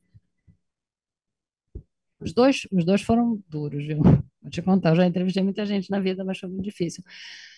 A entrevista do Doca foi é, um milagre que a nossa, mais uma vez, produtora, que no caso era a Cláudia Nogaroto, que ela conseguiu. Ele não queria dar entrevista, né? No, no, podcast eu até boto um telefonema em que ele me diz que ele não queria dar entrevista, ele realmente não, não queria mesmo, mas queria, porque quem não quer não faz, entendeu? Quem, principalmente entrevista, ninguém está obrigando o homem lá. É, é, claro que ele queria, então, mas ele, enfim, ele demorou e foi convencido lá por, por aquele amigo dele, o Jorge, que as pessoas que, que, que, ele mesmo chama ele mesmo de Jorge Safari, porque ele é, porque ele caçava nos anos 50 e a casa dele é cheia de troféu de, de caça, então foi uma coisa meio bizarra assim, porque eu estava nesse apartamento, um apartamentaço grande aqui em São Paulo, é, cheio de troféu de caça, cabeça de búfalo, é, dente de elefante, a mesa, a mesa lateral do sofá onde eu estava botando o meu chá, porque ele preparou um lanche para gente assim super fofo, tinha bem casado, sabe, tinha chá, tinha café, tinha tudo, tinha até cerveja, tinha uísque, tinha o que a gente quisesse. E ele, uma graça, assim, super, super fofo. Mas esse super fofo, a mesa onde eu estava botando o meu chá era uma pata de elefante, literalmente uma pata de elefante. Eu nunca tive num lugar assim, foi muito bizarro. E a, a, entrevista do Doca foi uma entrevista muito difícil, porque, porque eu achava que ele ia embora a qualquer segundo, entendeu? E eu falei, essa é a minha única chance, eu não posso. O que estava passando na minha cabeça, a gente tinha uma pauta enorme de perguntas, de coisas que a gente queria confirmar com ele, tinha questões meio técnicas de timeline, sabe, que ele tinha dito uma coisa no livro, o jornal tinha saído outra, outra pessoa tinha dado uma entrevista, a gente queria entender, assim, cronologicamente o que, que tinha acontecido. Eu queria entender que diabos dá na cabeça de um cara desses de matar a mulher, sabe? Muitas pessoas têm todo aquele movimento do quem ama não mata, que eu acho um slogan bom porque chama atenção, porque é catchy, as pessoas lembram, mas é um erro, porque quem ama mata. Vocês estão cansados de saber. Quem ama mata, não é uma questão de amor. Violência contra a mulher não é uma questão de amor, é uma questão de poder. É uma questão de dominação. Não tem nada a ver com amor. E a gente não tem como julgar quem ama e quem não ama. Porque não existe assim, isso é amor. Ah, isso tudo aqui eu vou comparar com isso aqui, e isso aqui não é amor. Não existe isso. Então, nunca, acho que nunca passou pela minha cabeça que o Doca não amasse a Ângela. Isso realmente dá para você ver nas, nas reportagens, nas entrevistas, você vê que aquilo foi um, um caso de. Eu acho que teria acabado logo depois, até porque acabou mesmo, ela acabou com ele, ela terminou, né? No dia em que ela morreu, ela queria terminar. Foi um caso de uma paixão fulminante que deu ali entre os dois, entendeu? Então eu tenho certeza, eu, eu sei que ele gostava dela. É, E, e eu queria entender, sabe, por quê? O que que acontece na hora, sabe, nessa hora, o que que acontece que o, que o cara consegue fazer uma coisa dessas? Que a gente sabe que tem três ou quatro homens por dia no Brasil que fazem isso, né? Foi uma entrevista muito difícil porque eu estava com medo dele ir embora. E a gente já tinha marcado uma vez com ele, esse é o negócio, a gente tinha marcado uma vez com ele, em que a gente foi até a casa do Jorge e ele não apareceu. Então eu estava com muito medo. Dessa vez ele apareceu e eu estava com medo dele ir embora. Então o tempo todo passava pela minha cabeça como que eu vou fazer com que esse cara fique? Ele, tá, ele ficou os primeiros 20 minutos da entrevista é, sentado no braço da poltrona, de óculos escuros, virado para a porta do apartamento, sem querer sentar. Era, sabe aquelas poltronas bem fofonas que quando você senta você tem uma certa dificuldade de levantar, especialmente se você tem 84 anos, que era o que ele tinha na época. É, ele não queria sentar, entendeu? Então eu tava, eu, e com o livro dele na mão, dizendo: eu, está aqui no, no livro, tudo que vocês querem. E eu falei: bom, eu vou comendo pelas beiradinhas, né? Ainda bem que tinha lá o Jorge com seus bem casados, então dava para dizer, não, vamos fazer não sei o quê, isso, aquilo. Foi aos poucos. Então, essa foi uma entrevista difícil nesse sentido. Não foi uma entrevista difícil em termos emocionais. Não foi, realmente não foi, não tinha, enfim. Ele, ele, é, ele tem uma hora lá que ele meio que se emociona, mas não muito. Ele não o jeito que ele fala da Angela Lee, eu já tinha visto ele falar milhões de vezes, desde que, desde a morte dela, ele, ele não mudou, ele não é uma pessoa que refletiu. Ele escreveu um livro inteiro desse tamanho, assim, é, chamado Meia Culpa, na qual ele não assume a culpa. Ele não assume a culpa. Ele passa o livro inteiro dizendo que ela era louca, que ela cheirava, que ela gostava de, de fazer suruba, coisa que ele adorava, entendeu? Não tinha, os dois gostavam ele passa metade do livro falando isso e a outra metade contando sobre a vida dele na cadeia. É, então, ele, ele, não é uma pessoa que, que refletiu sabe, sobre o caso. Então, ele não tinha muito a dizer nesse sentido. E não foi, uma, não foi uma entrevista difícil nesse sentido. Foi muito difícil porque eu sabia que o meu papel ali, ali era não deixar ele embora. E eu consegui, graças a Deus. Ele foi uma entrevista de duas horas e meia. A gente usou muito, sei lá, talvez dez minutos daquilo tudo. Foi uma entrevista chata, Chata, assim, no sentido de ser entediante.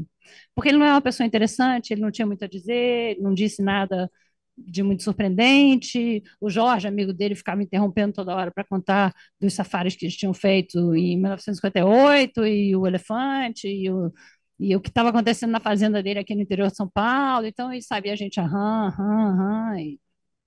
Mas eu sei fazer conversa, sabe? É uma vantagem de uma pessoa que entrevista, especialmente se você está na casa da pessoa eu sei fazer isso, eu tenho essa capacidade de deixar a pessoa à vontade, sentar e conversar sobre a casa da pessoa, perguntar sobre o elefante, demonstrar o interesse, porque é interessante. Eu sou uma pessoa curiosa e eu me interesso por praticamente tudo. Então não é difícil para mim fazer isso, sabe? Sentar e conversar com a pessoa e, e me interessar, sinceramente me interessar pela, pelo que a pessoa está me contando. E isso é, é e as pessoas gostam, as pessoas gostam quando você se interessa por elas. Então, isso facilita bastante. As entrevistas da, do Praia que foram difíceis foram as entrevistas das pessoas que conheceram a Ângela e que ficavam muito emocionadas. A mais difícil foi a do Fritz Dorei, é, com quem a gente conversou por telefone e que é, morreu também poucos meses depois, já estava já tava bastante velho, já estava doente, e ele chorou bastante, ele ficou muito, muito emocionado, e aí você fica com aquela coisa, ah, olha o que eu estou, sabe, fazendo com esse senhor, lembrando ele dessas coisas. O crime e castigo, obviamente, quase todo mundo chora. Nas entrevistas, a gente está falando sobre pessoas que perderam filhos, então quase todo mundo chora. Inclusive o pai da Liana, é, o pai da Liana Friedenbach, foi assassinada pelo Champinha e os comparsas dele, ele me deu uma lição de entrevista que eu nunca mais esqueci. Ele, ele começou a falar e imediatamente ele começou a chorar. E aí eu falei para ele, eu falei, olha, Ari, você pode, você fala o que você quiser, se você quiser encerrar a entrevista, você encerra, não tem problema nenhum, você, sabe, você só diz o que você quiser, se você quiser é, dizer para a gente para cortar alguma coisa que você disse, não tem problema nenhum. E, enfim, eu sinto muito é, por estar aqui te fazendo essas perguntas. E, e ele falou, não, não, não, não, não, não, eu, eu quero falar, eu eu estou com vontade de falar, não se preocupe, eu estou acostumada a falar. É, eu não me incomodo com a minha emoção se você não se incomodar com a minha emoção e com as minhas lágrimas. E aquilo para mim foi assim, um tapa na cara, porque eu falei, quem sou eu para me incomodar com as lágrimas de um homem que passou por... Essa é outra família, destruída. A família foi completamente destruída. Os avós, o irmão, a mulher, mãe da menina, todo mundo sobrou ele. Ele é a única pessoa que sobrou funcional, sabe, depois daquele crime. Óbvio, né? Você imagina uma coisa daquelas. Então, quando ele me disse isso, eu falei, cara, é isso, sabe? É isso. Quem sou eu para me incomodar que ele está chorando? Eu não tenho que me incomodar com nada. Isso não aconteceu comigo. Então, às vezes as pessoas me perguntam, ah, é muito difícil para você é, ter que lidar com essas histórias tristes e ouvir essas histórias tristes, que acontece com vocês também. Vocês passam o dia inteiro ouvindo história horrorosa, né? É, mas você diz assim, não é com a gente. Não é com a gente. Você pode ficar emocionado, você pode ficar triste, mas não aconteceu comigo. Que direito eu tenho, né? Então, é isso que eu penso quando eu vou fazer uma entrevista mais, mais difícil, assim, sabe? Que é, é o que a pessoa quer me contar.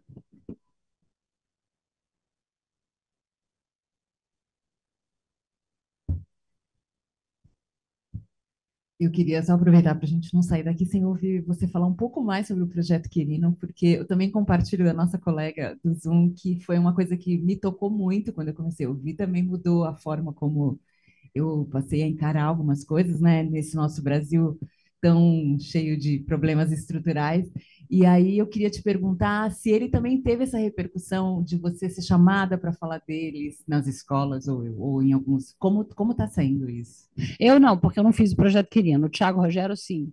Sim, teve, teve até é, professor fazendo currículo escolar baseado no Quirino, sabe? Mostrando o Quirino para os alunos, é, alunos de colégio e alunos de faculdade também. Ele, o Tiago, foi chamado para falar em muitas faculdades, é, foi, foi entrevistado é, em, em, enfim, em jornais internacionais, ele deu entrevista para o New York Times, para o Guardian, esses jornais assim, é, e foi e teve uma excelente repercussão nesse sentido, sabe? Inclusive nas escolas, foi uma coisa é, muito interessante, sabe, de ver, de você ver professores de ensino médio, de ensino, não, especialmente de ensino médio, querendo usar o Quirino e, e, e, pedindo mais material, porque o Quirino não tem só podcast, o Quirino tem textos também que foram feitos é, é, mais ou menos a partir do projeto. Os historiadores que participaram do projeto escreveram textos, foram publicados é, na na Piauí, eu acho que na Folha, em alguns outros lugares, e estão no site também do Projeto Querendo, para quem quiser ir lá ver, sabe? Tem, sabe, tipo um texto para cada um dos episódios, sabe? Explicando o que é em mais detalhe, textos escritos por acadêmicos, por pessoas é, especializadas, e teve muito essa repercussão também, muito interessante, que o, o Tiago ficou super contente, eu vou contar para ele que vocês estão falando essas coisas todas. Ah, bom.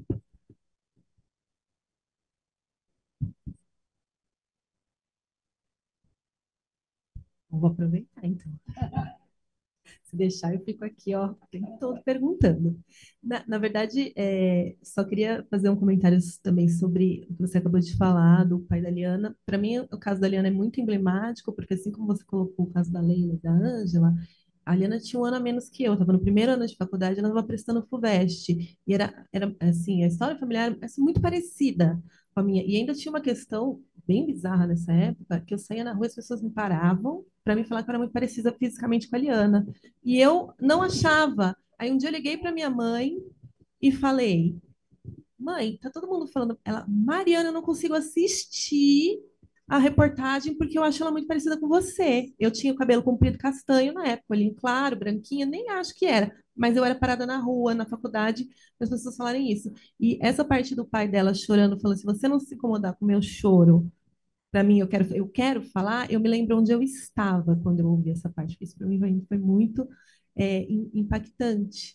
Né? E você falou um pouquinho sobre a questão uh, é, da, do, da, justiça, do que é justiça. Eu queria saber se você podia falar um pouquinho mais sobre isso, pensando nesses casos emblemáticos, é, dos seus ouvintes falarem a questão da, da pena de morte ou de ser é, da impunidade. O que para você enquanto pessoa, é, se dá essa questão do judiciário, das penas e etc. Assim, o caso do Champinha, que está até, acho que é a única pessoa que está até hoje, quantos anos? Tem quantos anos isso? Tem mais de 20 anos, Tem, né? tem mais de 20 anos, é, tem. É, o, o Champinha já está com 32, 39, 40, é, ele, tá, tá, já, tem 40. ele já passou dos 30, ele tinha, ele tinha 16, é uma coisa maluca, essa coisa do Champinha é uma coisa realmente é, maluca e bastante bastante sem solução, né? Porque é o que diz o advogado dele e o, e o Ari Friedenbach.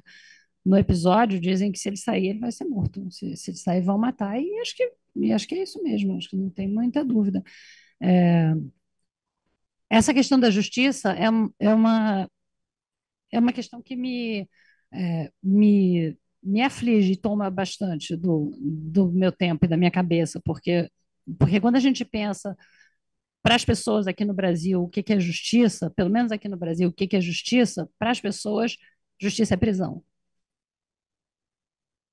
E eu estava uma vez num debate com uma documentarista que tinha feito um documentário sobre, é, sobre um presídio feminino e sobre a vida das mulheres nesse presídio.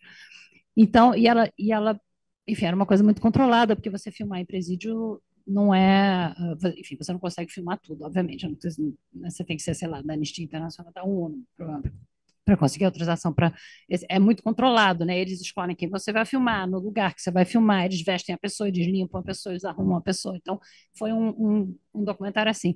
E ela estava falando que ela achava que devia ser que a gente devia, que as pessoas deviam tentar fazer, os cineastas e tal, deviam tentar fazer um, filmes que mostrassem realmente a realidade da prisão, a comida podre, o rato, as pessoas não sei o que, não sei o que. E o que eu pensei naquele momento, que é o que eu continuo pensando, é que essa é uma dessas maneiras simplistas de você mostrar a coisa, porque no clima é, que a gente está hoje em dia, e que a gente está há muitas décadas, tá? Isso não é culpa de anos recentes, não. Você mostra as pessoas na cadeia com rato, com comida podre, e as pessoas vão dizer: é isso aí, é isso mesmo, é isso que eu quero. Entendeu? Porque justiça é isso. É isso que eu quero. Esse cara esfaqueou não sei quem para roubar para roubar a pessoa na rua, é isso mesmo, tem que ficar na, na cadeia comendo comida podre mesmo, tá certo, é isso mesmo. Então é muito, sabe, é, é, é isso que é justiça na cabeça das pessoas. Para começar, a justiça é cadeia. E eu estava pensando isso com relação, no, nos dois lados, pensando isso, eu estava pensando isso na questão do 6 de janeiro. Porque sempre que sai essas coisas de quem vai para prisão, vai prisão preventiva, vai ficar, vai pegar 30 anos, vai não sei o quê, eu paro e digo, peraí, vamos ver Deixa eu pensar aqui com calma o que está acontecendo. Então, eu estava pensando, no caso dos, das pessoas de alta patente que participaram do 6 de janeiro, que a gente sabe que participaram, do 8 de janeiro, perdão, 6 de janeiro é nos Estados Unidos, é, é, que, que, dos 8 de janeiro que participaram, que tem alta patente. É, Para mim, o que eu no meu mundo ideal, o que teria que acontecer com essas pessoas cuja participação foi comprovada e que tem alta patente é perder a patente perder o salário, perder a patente, o cara é coronel, o cara é general, o cara é não sei o quê, o cara não vai para cadeia e fica sei lá quantos anos e sai, continua ganhando o soldo enquanto está preso, e depois quando sai, sai, pronto, e continua general, vai, ah, vai para reserva, não vai para reserva, não é isso. para mim, tem que ser uma outra coisa, um outro tipo de pena. E uma dessas alternativas é, obviamente, é tão óbvio, para mim é tão óbvio que uma pessoa de alta patente das Forças Armadas que está atentando contra o governo tem que sair das Forças Armadas, não pode estar nas Forças Armadas, essa pessoa não pode estar participando das forças que vão defender a gente. E eu acho que para esses casos, para mim, justiça não é cadeia. Tem outras coisas que você poderia fazer com essas pessoas que seriam penas mais, é, mais corretas e que, inclusive, poderiam impedir essas pessoas de tentar isso outra vez. Fazer com que elas perdessem esse poder que é dado pela patente. Eu não vi essa discussão em lugar nenhum, não cabe a mim começar, porque eu não sou especialista nisso, nem em Forças Armadas, nem no Judiciário, nem em nada, não cabe a mim. Mas é uma coisa que eu fico vendo as pessoas da esquerda, porque a esquerda é tão punitivista quanto a direita no Brasil, não tem diferença. Eu vejo as pessoas da esquerda comemorando, ah, pegou 30 anos, que maravilha. Gente, para, para e pensa um pouquinho o que, que isso significa. Justiça não é cadeia, justiça é uma coisa, cadeia é outra. Cadeia é uma das formas em que a justiça é implementada mas só uma das formas, não é a mesma coisa. Vingança não é justiça, cadeia não é justiça, mas eu acho que é a ideia que as pessoas têm de que justiça é cadeia, de que não tem nenhuma outra, outra solução. Que se você tentar implementar alguma outra solu solução, você está livrando a pessoa da, da punição. E tem muitas outras maneiras de punir. A própria palavra punir, né? Não necessariamente é o que você quer fazer. Você pode querer restaurar, por exemplo, em vez de punir. É, enfim, mas eu não tenho nada com isso, então eu não tenho, entendeu? Eu não tenho o poder de, de me envolver nessas discussões, né? mas eu, eu fico muito assustada com o punitivismo da esquerda, muito. O da direita também, mas o da direita é mais é, é, faz parte da ideologia, então você espera, né? O, o da esquerda me, me, me assusta. Eu vou passar a palavra então para a Andréa, que está no Zoom e levantou a mão. Andréa, vamos só fazer um teste de som? Oi, vocês estão me ouvindo? Estamos, pode falar. Então, é, bom dia. Primeiramente, eu gostaria de agradecer e parabenizar por esse evento.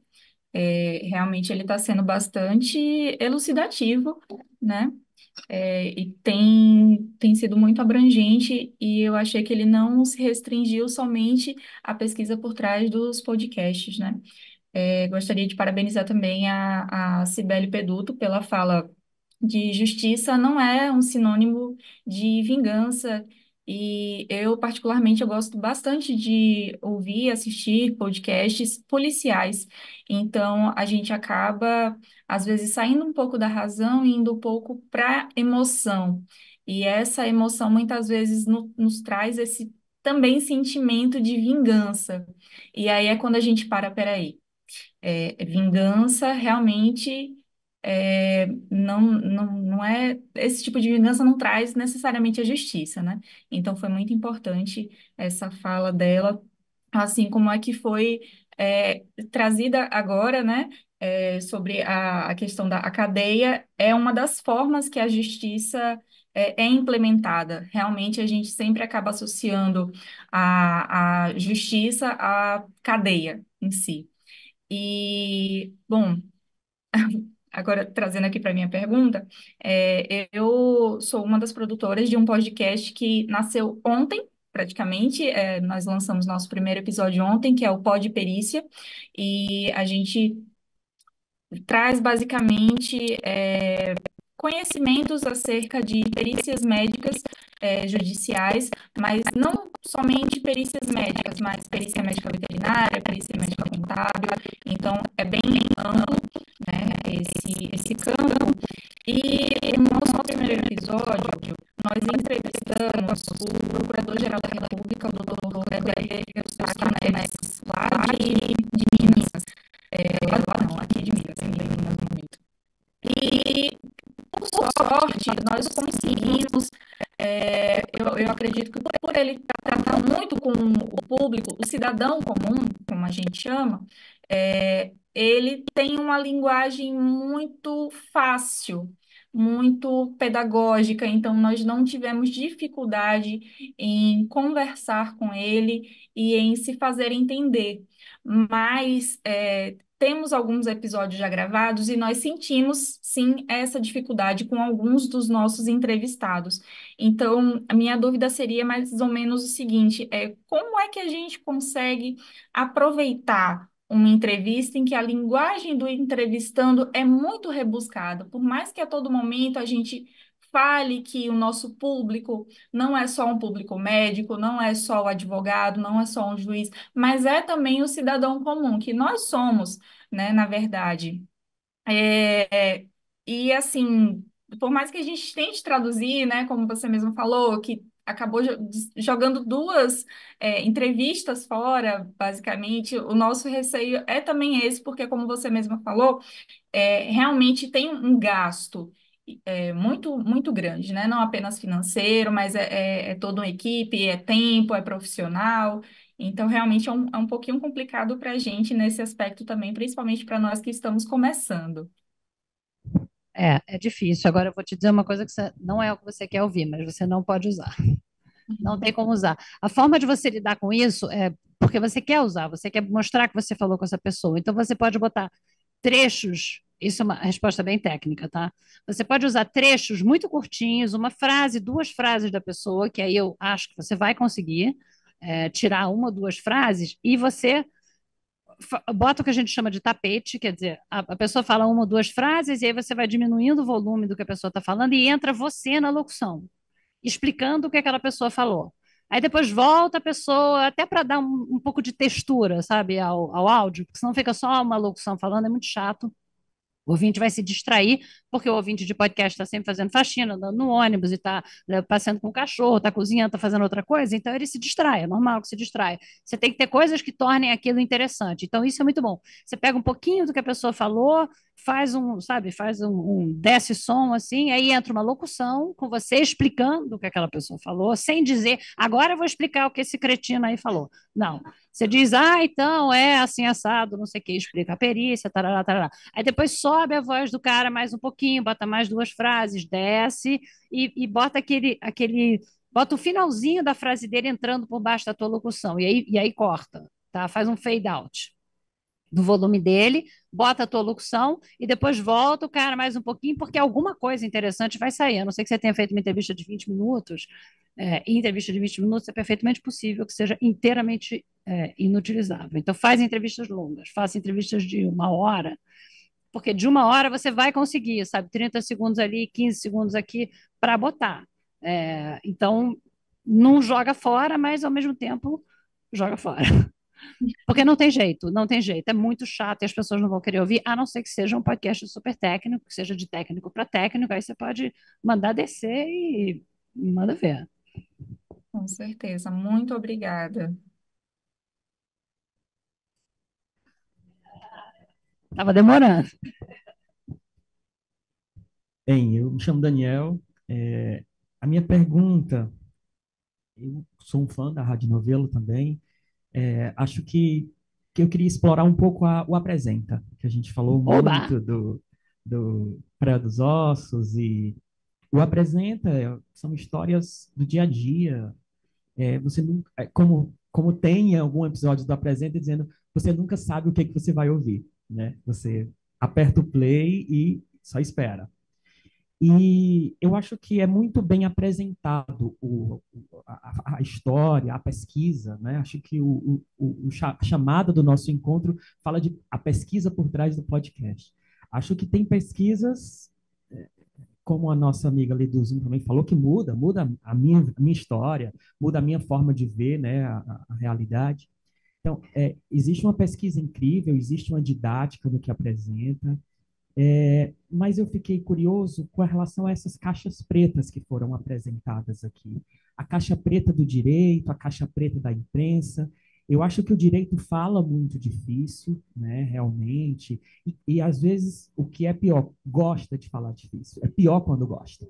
Né? Então, quando gosta... Tem um pouco isso, assim, não, você não vai entender. Não, não adianta explicar que você não vai entender. É, existe, às vezes, às vezes é impossível não falar, difícil. Eu estou conversando com você e eu acho que você fala muito naturalmente o roteirista e o produtor. Eu não faço a menor ideia da diferença entre um roteirista e um produtor. Eu vou te explicar. então, é, é eu, eu costumo também, assim, a gente precisaria abrir essas caixas pretas, é, eu, eu, eu sempre que eu, posso, que, eu, que eu posso, eu tento abrir a caixa preta no que me no que eu consigo, né, aonde eu alcanço, que não é muito, mas é, é sempre o que eu alcanço, sempre tento. É, e aí usar técnicas de comunicação. A Rádio Novelo faz muito isso, de você continuar narrando o que o cretino não conseguiu fazer, né? Então, a gente, a gente eu acompanho muito. Mas a minha curiosidade é o seguinte, é, a Rádio Novelo, apresenta um, é, assuntos muito complexos, são muito delicados. São, eu, eu, eu, não, eu não consegui ouvir tudo, porque às vezes eu passo dias pensando em um episódio. Eu ainda não terminei de digerir aquilo, eu não consegui ainda chegar no ponto. Então, ele me toca muito. E a minha curiosidade é se consegue tocar é, as pessoas menos favorecidas porque a gente trata de muita gente desfavorecida, a gente fala das caixas pretas, sabe? Se, se a gente não fica.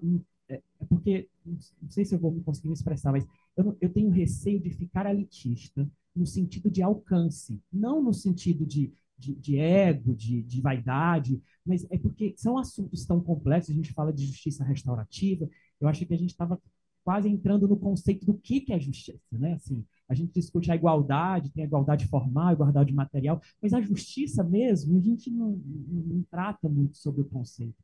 Acho da prisão, as pessoas acham que justiça é prisão, que é o máximo que permite. Se e é o que tem, né? É, é o que tem. Se é permitisse a morte, as pessoas iam querer a morte. Então, eu acho que, que é isso. Mas a minha curiosidade é essa. A gente, a, vocês têm alguma forma de garantir ou, ou de pensar, de trazer o básico, de ir lá na, na comunidade ribeirinha, tem muitos episódios do Apresenta na Amazônia, é, tem histórias mais leves, tem um que você fala assim, ai, a gente tenta ser fofa, mas não consegue. É. A gente vai sempre, e aí é, é, fica nessa complexidade, será que a gente está numa bolha? Sabe? Será que o Apresenta é uma bolha? E como fazer, como ter esse cuidado para estourar essa bolha para a gente atingir a maioria da população que, que não é é, que, que não conseguem ter essas discussões assim tão de uma forma tão acalorada. Olha, o apresenta é uma bolha, é uma bolha de é, é, é, principalmente uma bolha sudestina, mais do que qualquer outra bolha. Não é uma bolha de gênero, ao, ao contrário do praia, por exemplo, que é tipo 70, 75% feminino público, que é uma coisa que me deixa triste, porque eu acho que violência contra a mulher é assunto de homem, não é assunto de mulher. A gente está cansada de saber o que, que é já passou por isso, todo mundo que está sentado aqui já passou por algum tipo de violência, todo mundo já leu, já sabe o que, que é, e os homens não, isso me deixa triste.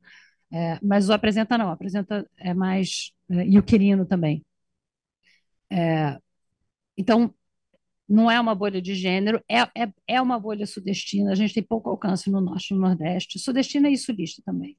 Então, é mais no sudeste e no sul que a gente tem mais ouvintes. Questão de classe, você não consegue medir não tem. É, é, a gente não tem acesso a esses dados, porque esses dados. É, as plataformas que transmitem podcast, Spotify, Apple, Castbox, seja lá onde for, são, uh, não são empresas de conteúdo, são empresas de dados. O que eles querem é dados, eles querem os nossos dados. E isso é proprietário. Então, eles não divulgam.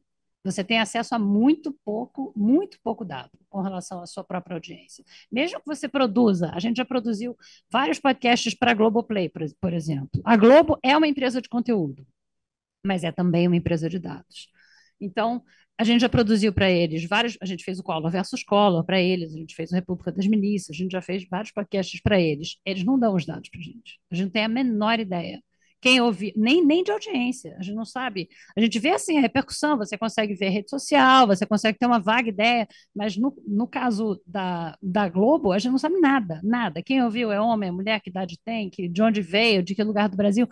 O, uh, o, enfim, o sistema para o qual você sobe e que a partir daí distribui para várias plataformas, que tem, tem vários desses sistemas, Libsyn, Megafone, tem um monte, é, fornecem alguns dados para a gente. Um, poucos dados, dado de audiência, dependendo, se for, um, se for um produto independente, tipo Rádio Novela Apresenta, a gente tem dado de audiência, se for um produto que a gente fez para o Spotify, para a Amazon Music ou para a Globo, a gente não tem, não adianta, você pode chorar, pedir pelo amor de Deus, eu já fiz esse papel de pelo amor de Deus, dizer, por favor, entendeu? Eu sou a, eu sou a produtora que estou trabalhando para você, é bom para você que eu saiba se o podcast foi bom, porque se não tiver sido, eu, eu, eu tenho que saber como melhorar, mas não adianta, eles realmente não entregam porque o que eles querem são os dados. Então, é, a gente consegue ter para muito pouca coisa, sabe? O apresenta a gente consegue porque é nosso, agora, não são todos os dados. A gente consegue dado de audiência, consegue um pouquinho de dado de gênero que a gente não sabe,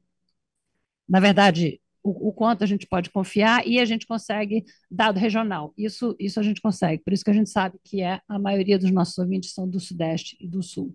A gente traz muita, a gente cada vez mais a gente traz histórias do norte, do nordeste e do centro-oeste, porque a gente quer cobrir o Brasil inteiro, a gente quer contar histórias do, de todo o Brasil. Então a gente traz, e aí eu vou entrar na sua pergunta sobre roteirista e produtor, a gente chama todo mundo de produtor, mas todo mundo também que está na novela também é roteirista, menos eu. Eu não escrevo roteiro. É, eu dou pitaco no roteiro dos outros, mas os outros todos que são que realmente trabalham na novela, que a gente lê naquela, naquela, nos créditos, é, a gente chama de produtoras, mas são roteiristas também. Mas quando eu falo produtora pura, a gente tem a Ashley Calvo, por exemplo, ela é produtora, ela só faz produção. Ela vai atrás de personagem, ela marca a hora, ela liga para o entrevistado, ela marca estúdio, ela acha a pessoa, ela convence a pessoa a falar, então ela sabe, ela organiza isso, isso é o papel de, só de produção. Os outros fazem tudo. E a gente tenta trabalhar com freela porque, enfim, nós somos localizados no Rio de Janeiro, a gente tem três pessoas que moram aqui em São Paulo, o resto está no Rio, e a gente quer histórias do resto do Brasil. Então, a gente trabalha com frilas do resto do Brasil, mas são pessoas que não sabem escrever roteiro, porque nunca fizeram isso, são repórteres, de um modo geral, repórteres jovens, inclusive, que trazem suas histórias lá dos lugares onde moram, é, mas que nunca trabalharam com áudio, entendeu? São pessoas que estão acostumadas a escrever matéria, matéria de jornal, matéria de revista, matéria para rede social, essas coisas. Então, não sabem fazer. Então, nos trazem a história, fazem a apuração. Então, muitas vezes você vai ver uma, uma história que eu narro, que está na minha voz, eu faço a locução, mas eu estou entrevistando uma repórter de algum lugar. Sei lá, teve uma história da das bruxas da Inquisição, agora há pouco tempo. Pela Ana Pinho, não é nenhum exemplo do, do norte, porque a Ana é paulista. Mas ela é excelente repórter, maravilhosa, apura super bem. Tem ideia de pauta, assim, três por dia ela está mandando para a gente, ela é ótima, mas ela não, não escreve roteiro para áudio. Então, o que, que a gente faz? Eu entrevisto ela, ela me conta a história inteira, eu ouço todos os brutos dos áudios da entrevista que ela fez, e alguém da novela escreve o roteiro. E aí o roteiro é um roteiro como se fosse um roteiro de filme. Você vai juntando, você pega esse áudio aqui é interessante, você vai juntar com aquele outro, você vai transformar aquilo numa história com começo, meio e fim. Você vai pegar uma história que é um monte de entrevista e um monte de pesquisa e transformar aquilo numa narrativa. Esse é um outro talento, sabe? O talento de roteirista. Os repórteres todos da novela, que a gente chama de produtoras, sabem fazer isso. Paulinha, Flora, enfim, todo mundo, Vitor, todo mundo sabe fazer isso, sabem fazer roteiro. E tudo basicamente passa pela mão de todo mundo, entendeu? A gente usa tudo na nuvem, todo mundo tem acesso e todo mundo dá pitaco. Então você vai escrever o teu roteiro, eu vou ler o teu roteiro, eu vou dizer, achei essa parte meio chata, não gostei daquilo ali, não entendi, isso aqui você tem que explicar melhor. Aí vai todo mundo dar pitaco, aí depois vai para a sonorização. Quando está semi-pronto, manda o áudio para a equipe inteira, para todo mundo da novelo, e todo mundo ouve, e aí dá mais sugestão, entendeu? Ainda antes de ir ao ar. Aí a pessoa diz: Não, eu achei isso, achei aquilo, corta, achei essa música muito sentimental, vamos botar outra, tira a sonorização, bota a sonorização. É, todo mundo dá opinião. É um trabalho muito. É, é, um trabalho de equipe mesmo, é, é um trabalho de equipe, totalmente um trabalho de equipe. É, e, que mais que você perguntou? Agora eu esqueci. Então, é que minha, minha principal pergunta era com relação a, ao alcance de bolha. Eu sei que os dados, eu sei que os dados são fundamentais, mas o fato de eu sou nordestino. Então, é, eu sou um ouvinte do Sul, que para os dados eu sou. E você é de onde? Você é de que? Ceará. Então, Ceará e Bahia são os estados que a gente tem mais ouvintes no Nordeste. Acho que foi eu que levei. Bom saber. É. Mas, Continue é... assim, por ah, favor. Sim, sim, Espalhe é. para os estados vizinhos.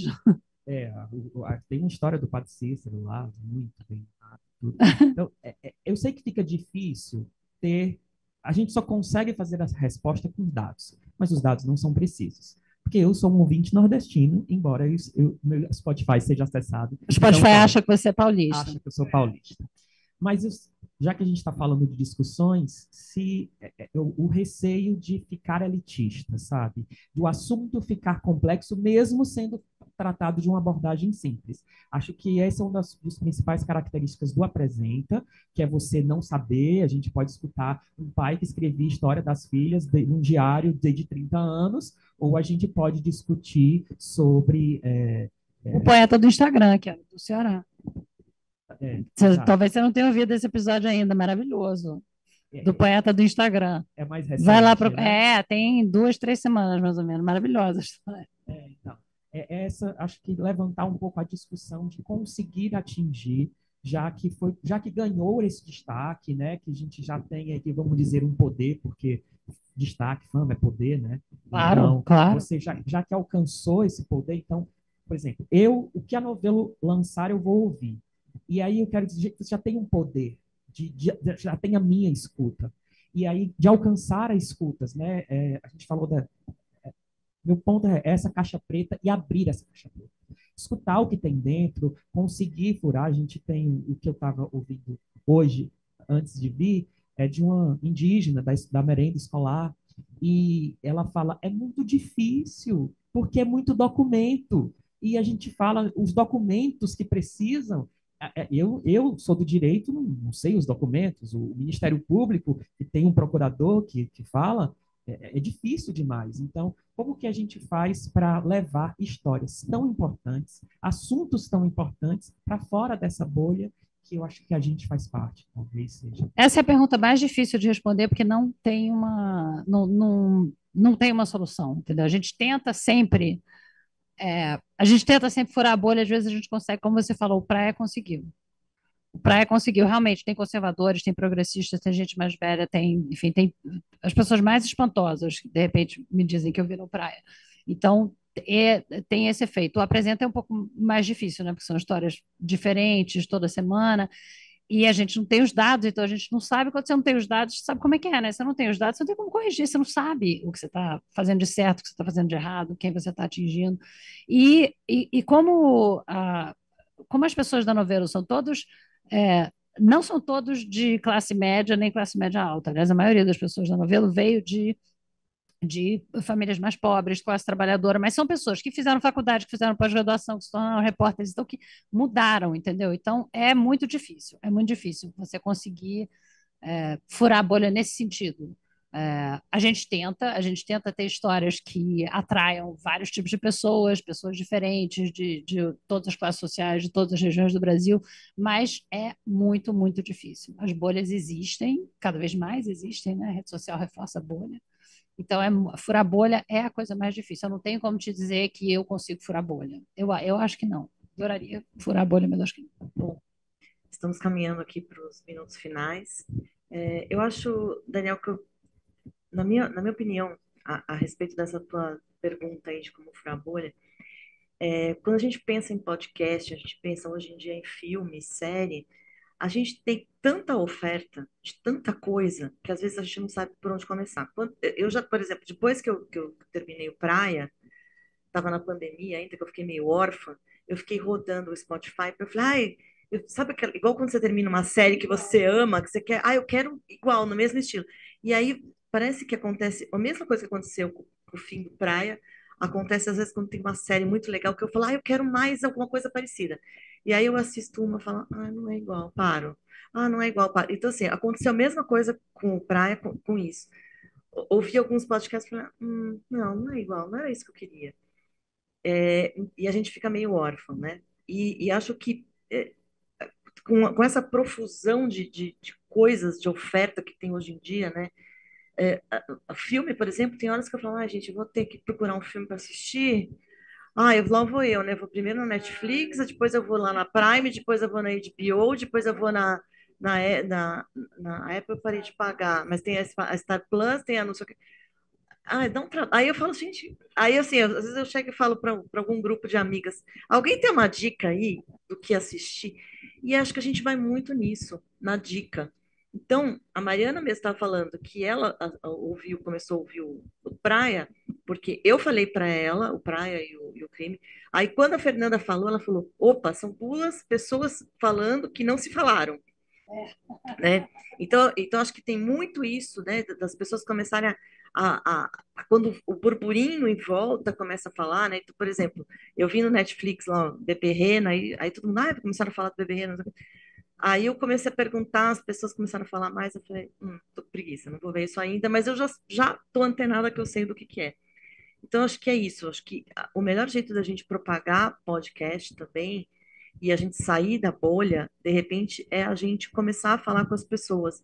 E falar, às vezes, com as pessoas que estão fora da nossa bolha. De repente, você chega para o seu porteiro do prédio, bate um papo com ele, porteiro lá que fica, eu não sei se o prédio é portaria virtual, mas enfim, o meu ainda é daquelas antigas portarias, tem o porteiro, que fica o dia inteiro sentado lá e aí de repente começa a bater um papo com ele e fala assim, escuta, você não quer conhecer um pouco sobre isso? Olha isso aqui, tem, isso, tem esse podcast, é legal, é bacana. Eu acho que cabe a nós, talvez, começar a pensar em, em, em furar a bolha desse jeito. A gente faz, faz, faz tecnologia, mas no fim o boca a boca né? O velho boca a boca ainda. E aí é isso, Branca, não sei que você queria acrescentar alguma coisa no Não, fim. acho que não, não, acho que não. Adorei, obrigada, obrigada pelo legal. convite. Bom, estamos de portas abertas aqui para você quiser qualquer coisa conhecer mais do judiciário, do, do, do que você quiser, se você quiser fazer um, qualquer pesquisa. a gente é, eu, eu sou coordenadora do Laboratório de Inovação da Justiça Federal de São Paulo e a Renata do Laboratório Tribunal, que está em fusão, nós sempre trabalhamos juntos. E a gente tem um espaço físico, que é do Laboratório de Inovação, foi todo pensado para esse tipo de atividade. E, aliás, eu aproveito e convido sempre todo mundo, eu faço a minha propaganda, porque é nosso objetivo do laboratório, o, o nosso laboratório ele é conhecido nacionalmente, porque foi o primeiro laboratório de inovação do Judiciário, então ele é muito reconhecido, mas internamente não é tanto conhecido. Então, eu quero que todo mundo vá para o laboratório levar os seus problemas para a gente discutir. E aí, já até aproveito e já faço um convite dentro daquela ideia de melhorar, que é uma coisa também mesmo que me incomoda, de melhorar essa conversa entre é, é estou chamando a imprensa, mas na verdade os profissionais da comunicação, né, e o judiciário que tem essa deficiência na comunicação, nós sabemos disso, e aproveitando o momento que a gente vive no Poder Judiciário, que é um momento que é, há muito estímulo à inovação, a novas formas de trabalhar, para melhorar a forma de trabalho e, e, e, e mudar os, os, os, vícios né, antigos, que não tem mais cabimento, trazer novidade, frescor, mas ao mesmo tempo sem perder a, a, que é aquilo, né? não é toda novidade que é boa, a gente tem que estudar, refletir, pensar. É, e aí já, já fazer um convite para você, para a sua equipe toda, para todo mundo que você conhecer, que o laboratório, os dois laboratórios estão de portas abertas, nós podemos fazer oficinas de discussão sobre problemas, sobre como melhorar essa discussão. Se eu fico super feliz só de você ter falado que a maior alegria foi ter, ter permitido esse tipo de conversa, porque eu é, fico muito feliz, porque é isso que a gente precisa, é isso que a gente quer. Então, já aproveitando, é, em nome do laboratório, fazendo já esse convite, que tá, quando você quiser, ou sua equipe, ou quem você achar que pode fazer bom proveito. Chama o Thiago. Chama o Thiago Rogero para participar de uma coisa parecida com essa aqui. Ah. Ele vai ter ideia para tratar da questão de raça. Super é, importante. Eu acho ele é, ele é muito bom, ele é muito bom, o Thiago. Eu acho que ele vem, chama, chama ele. E eu vou convidar todo mundo aqui a mandar história para gente, tá?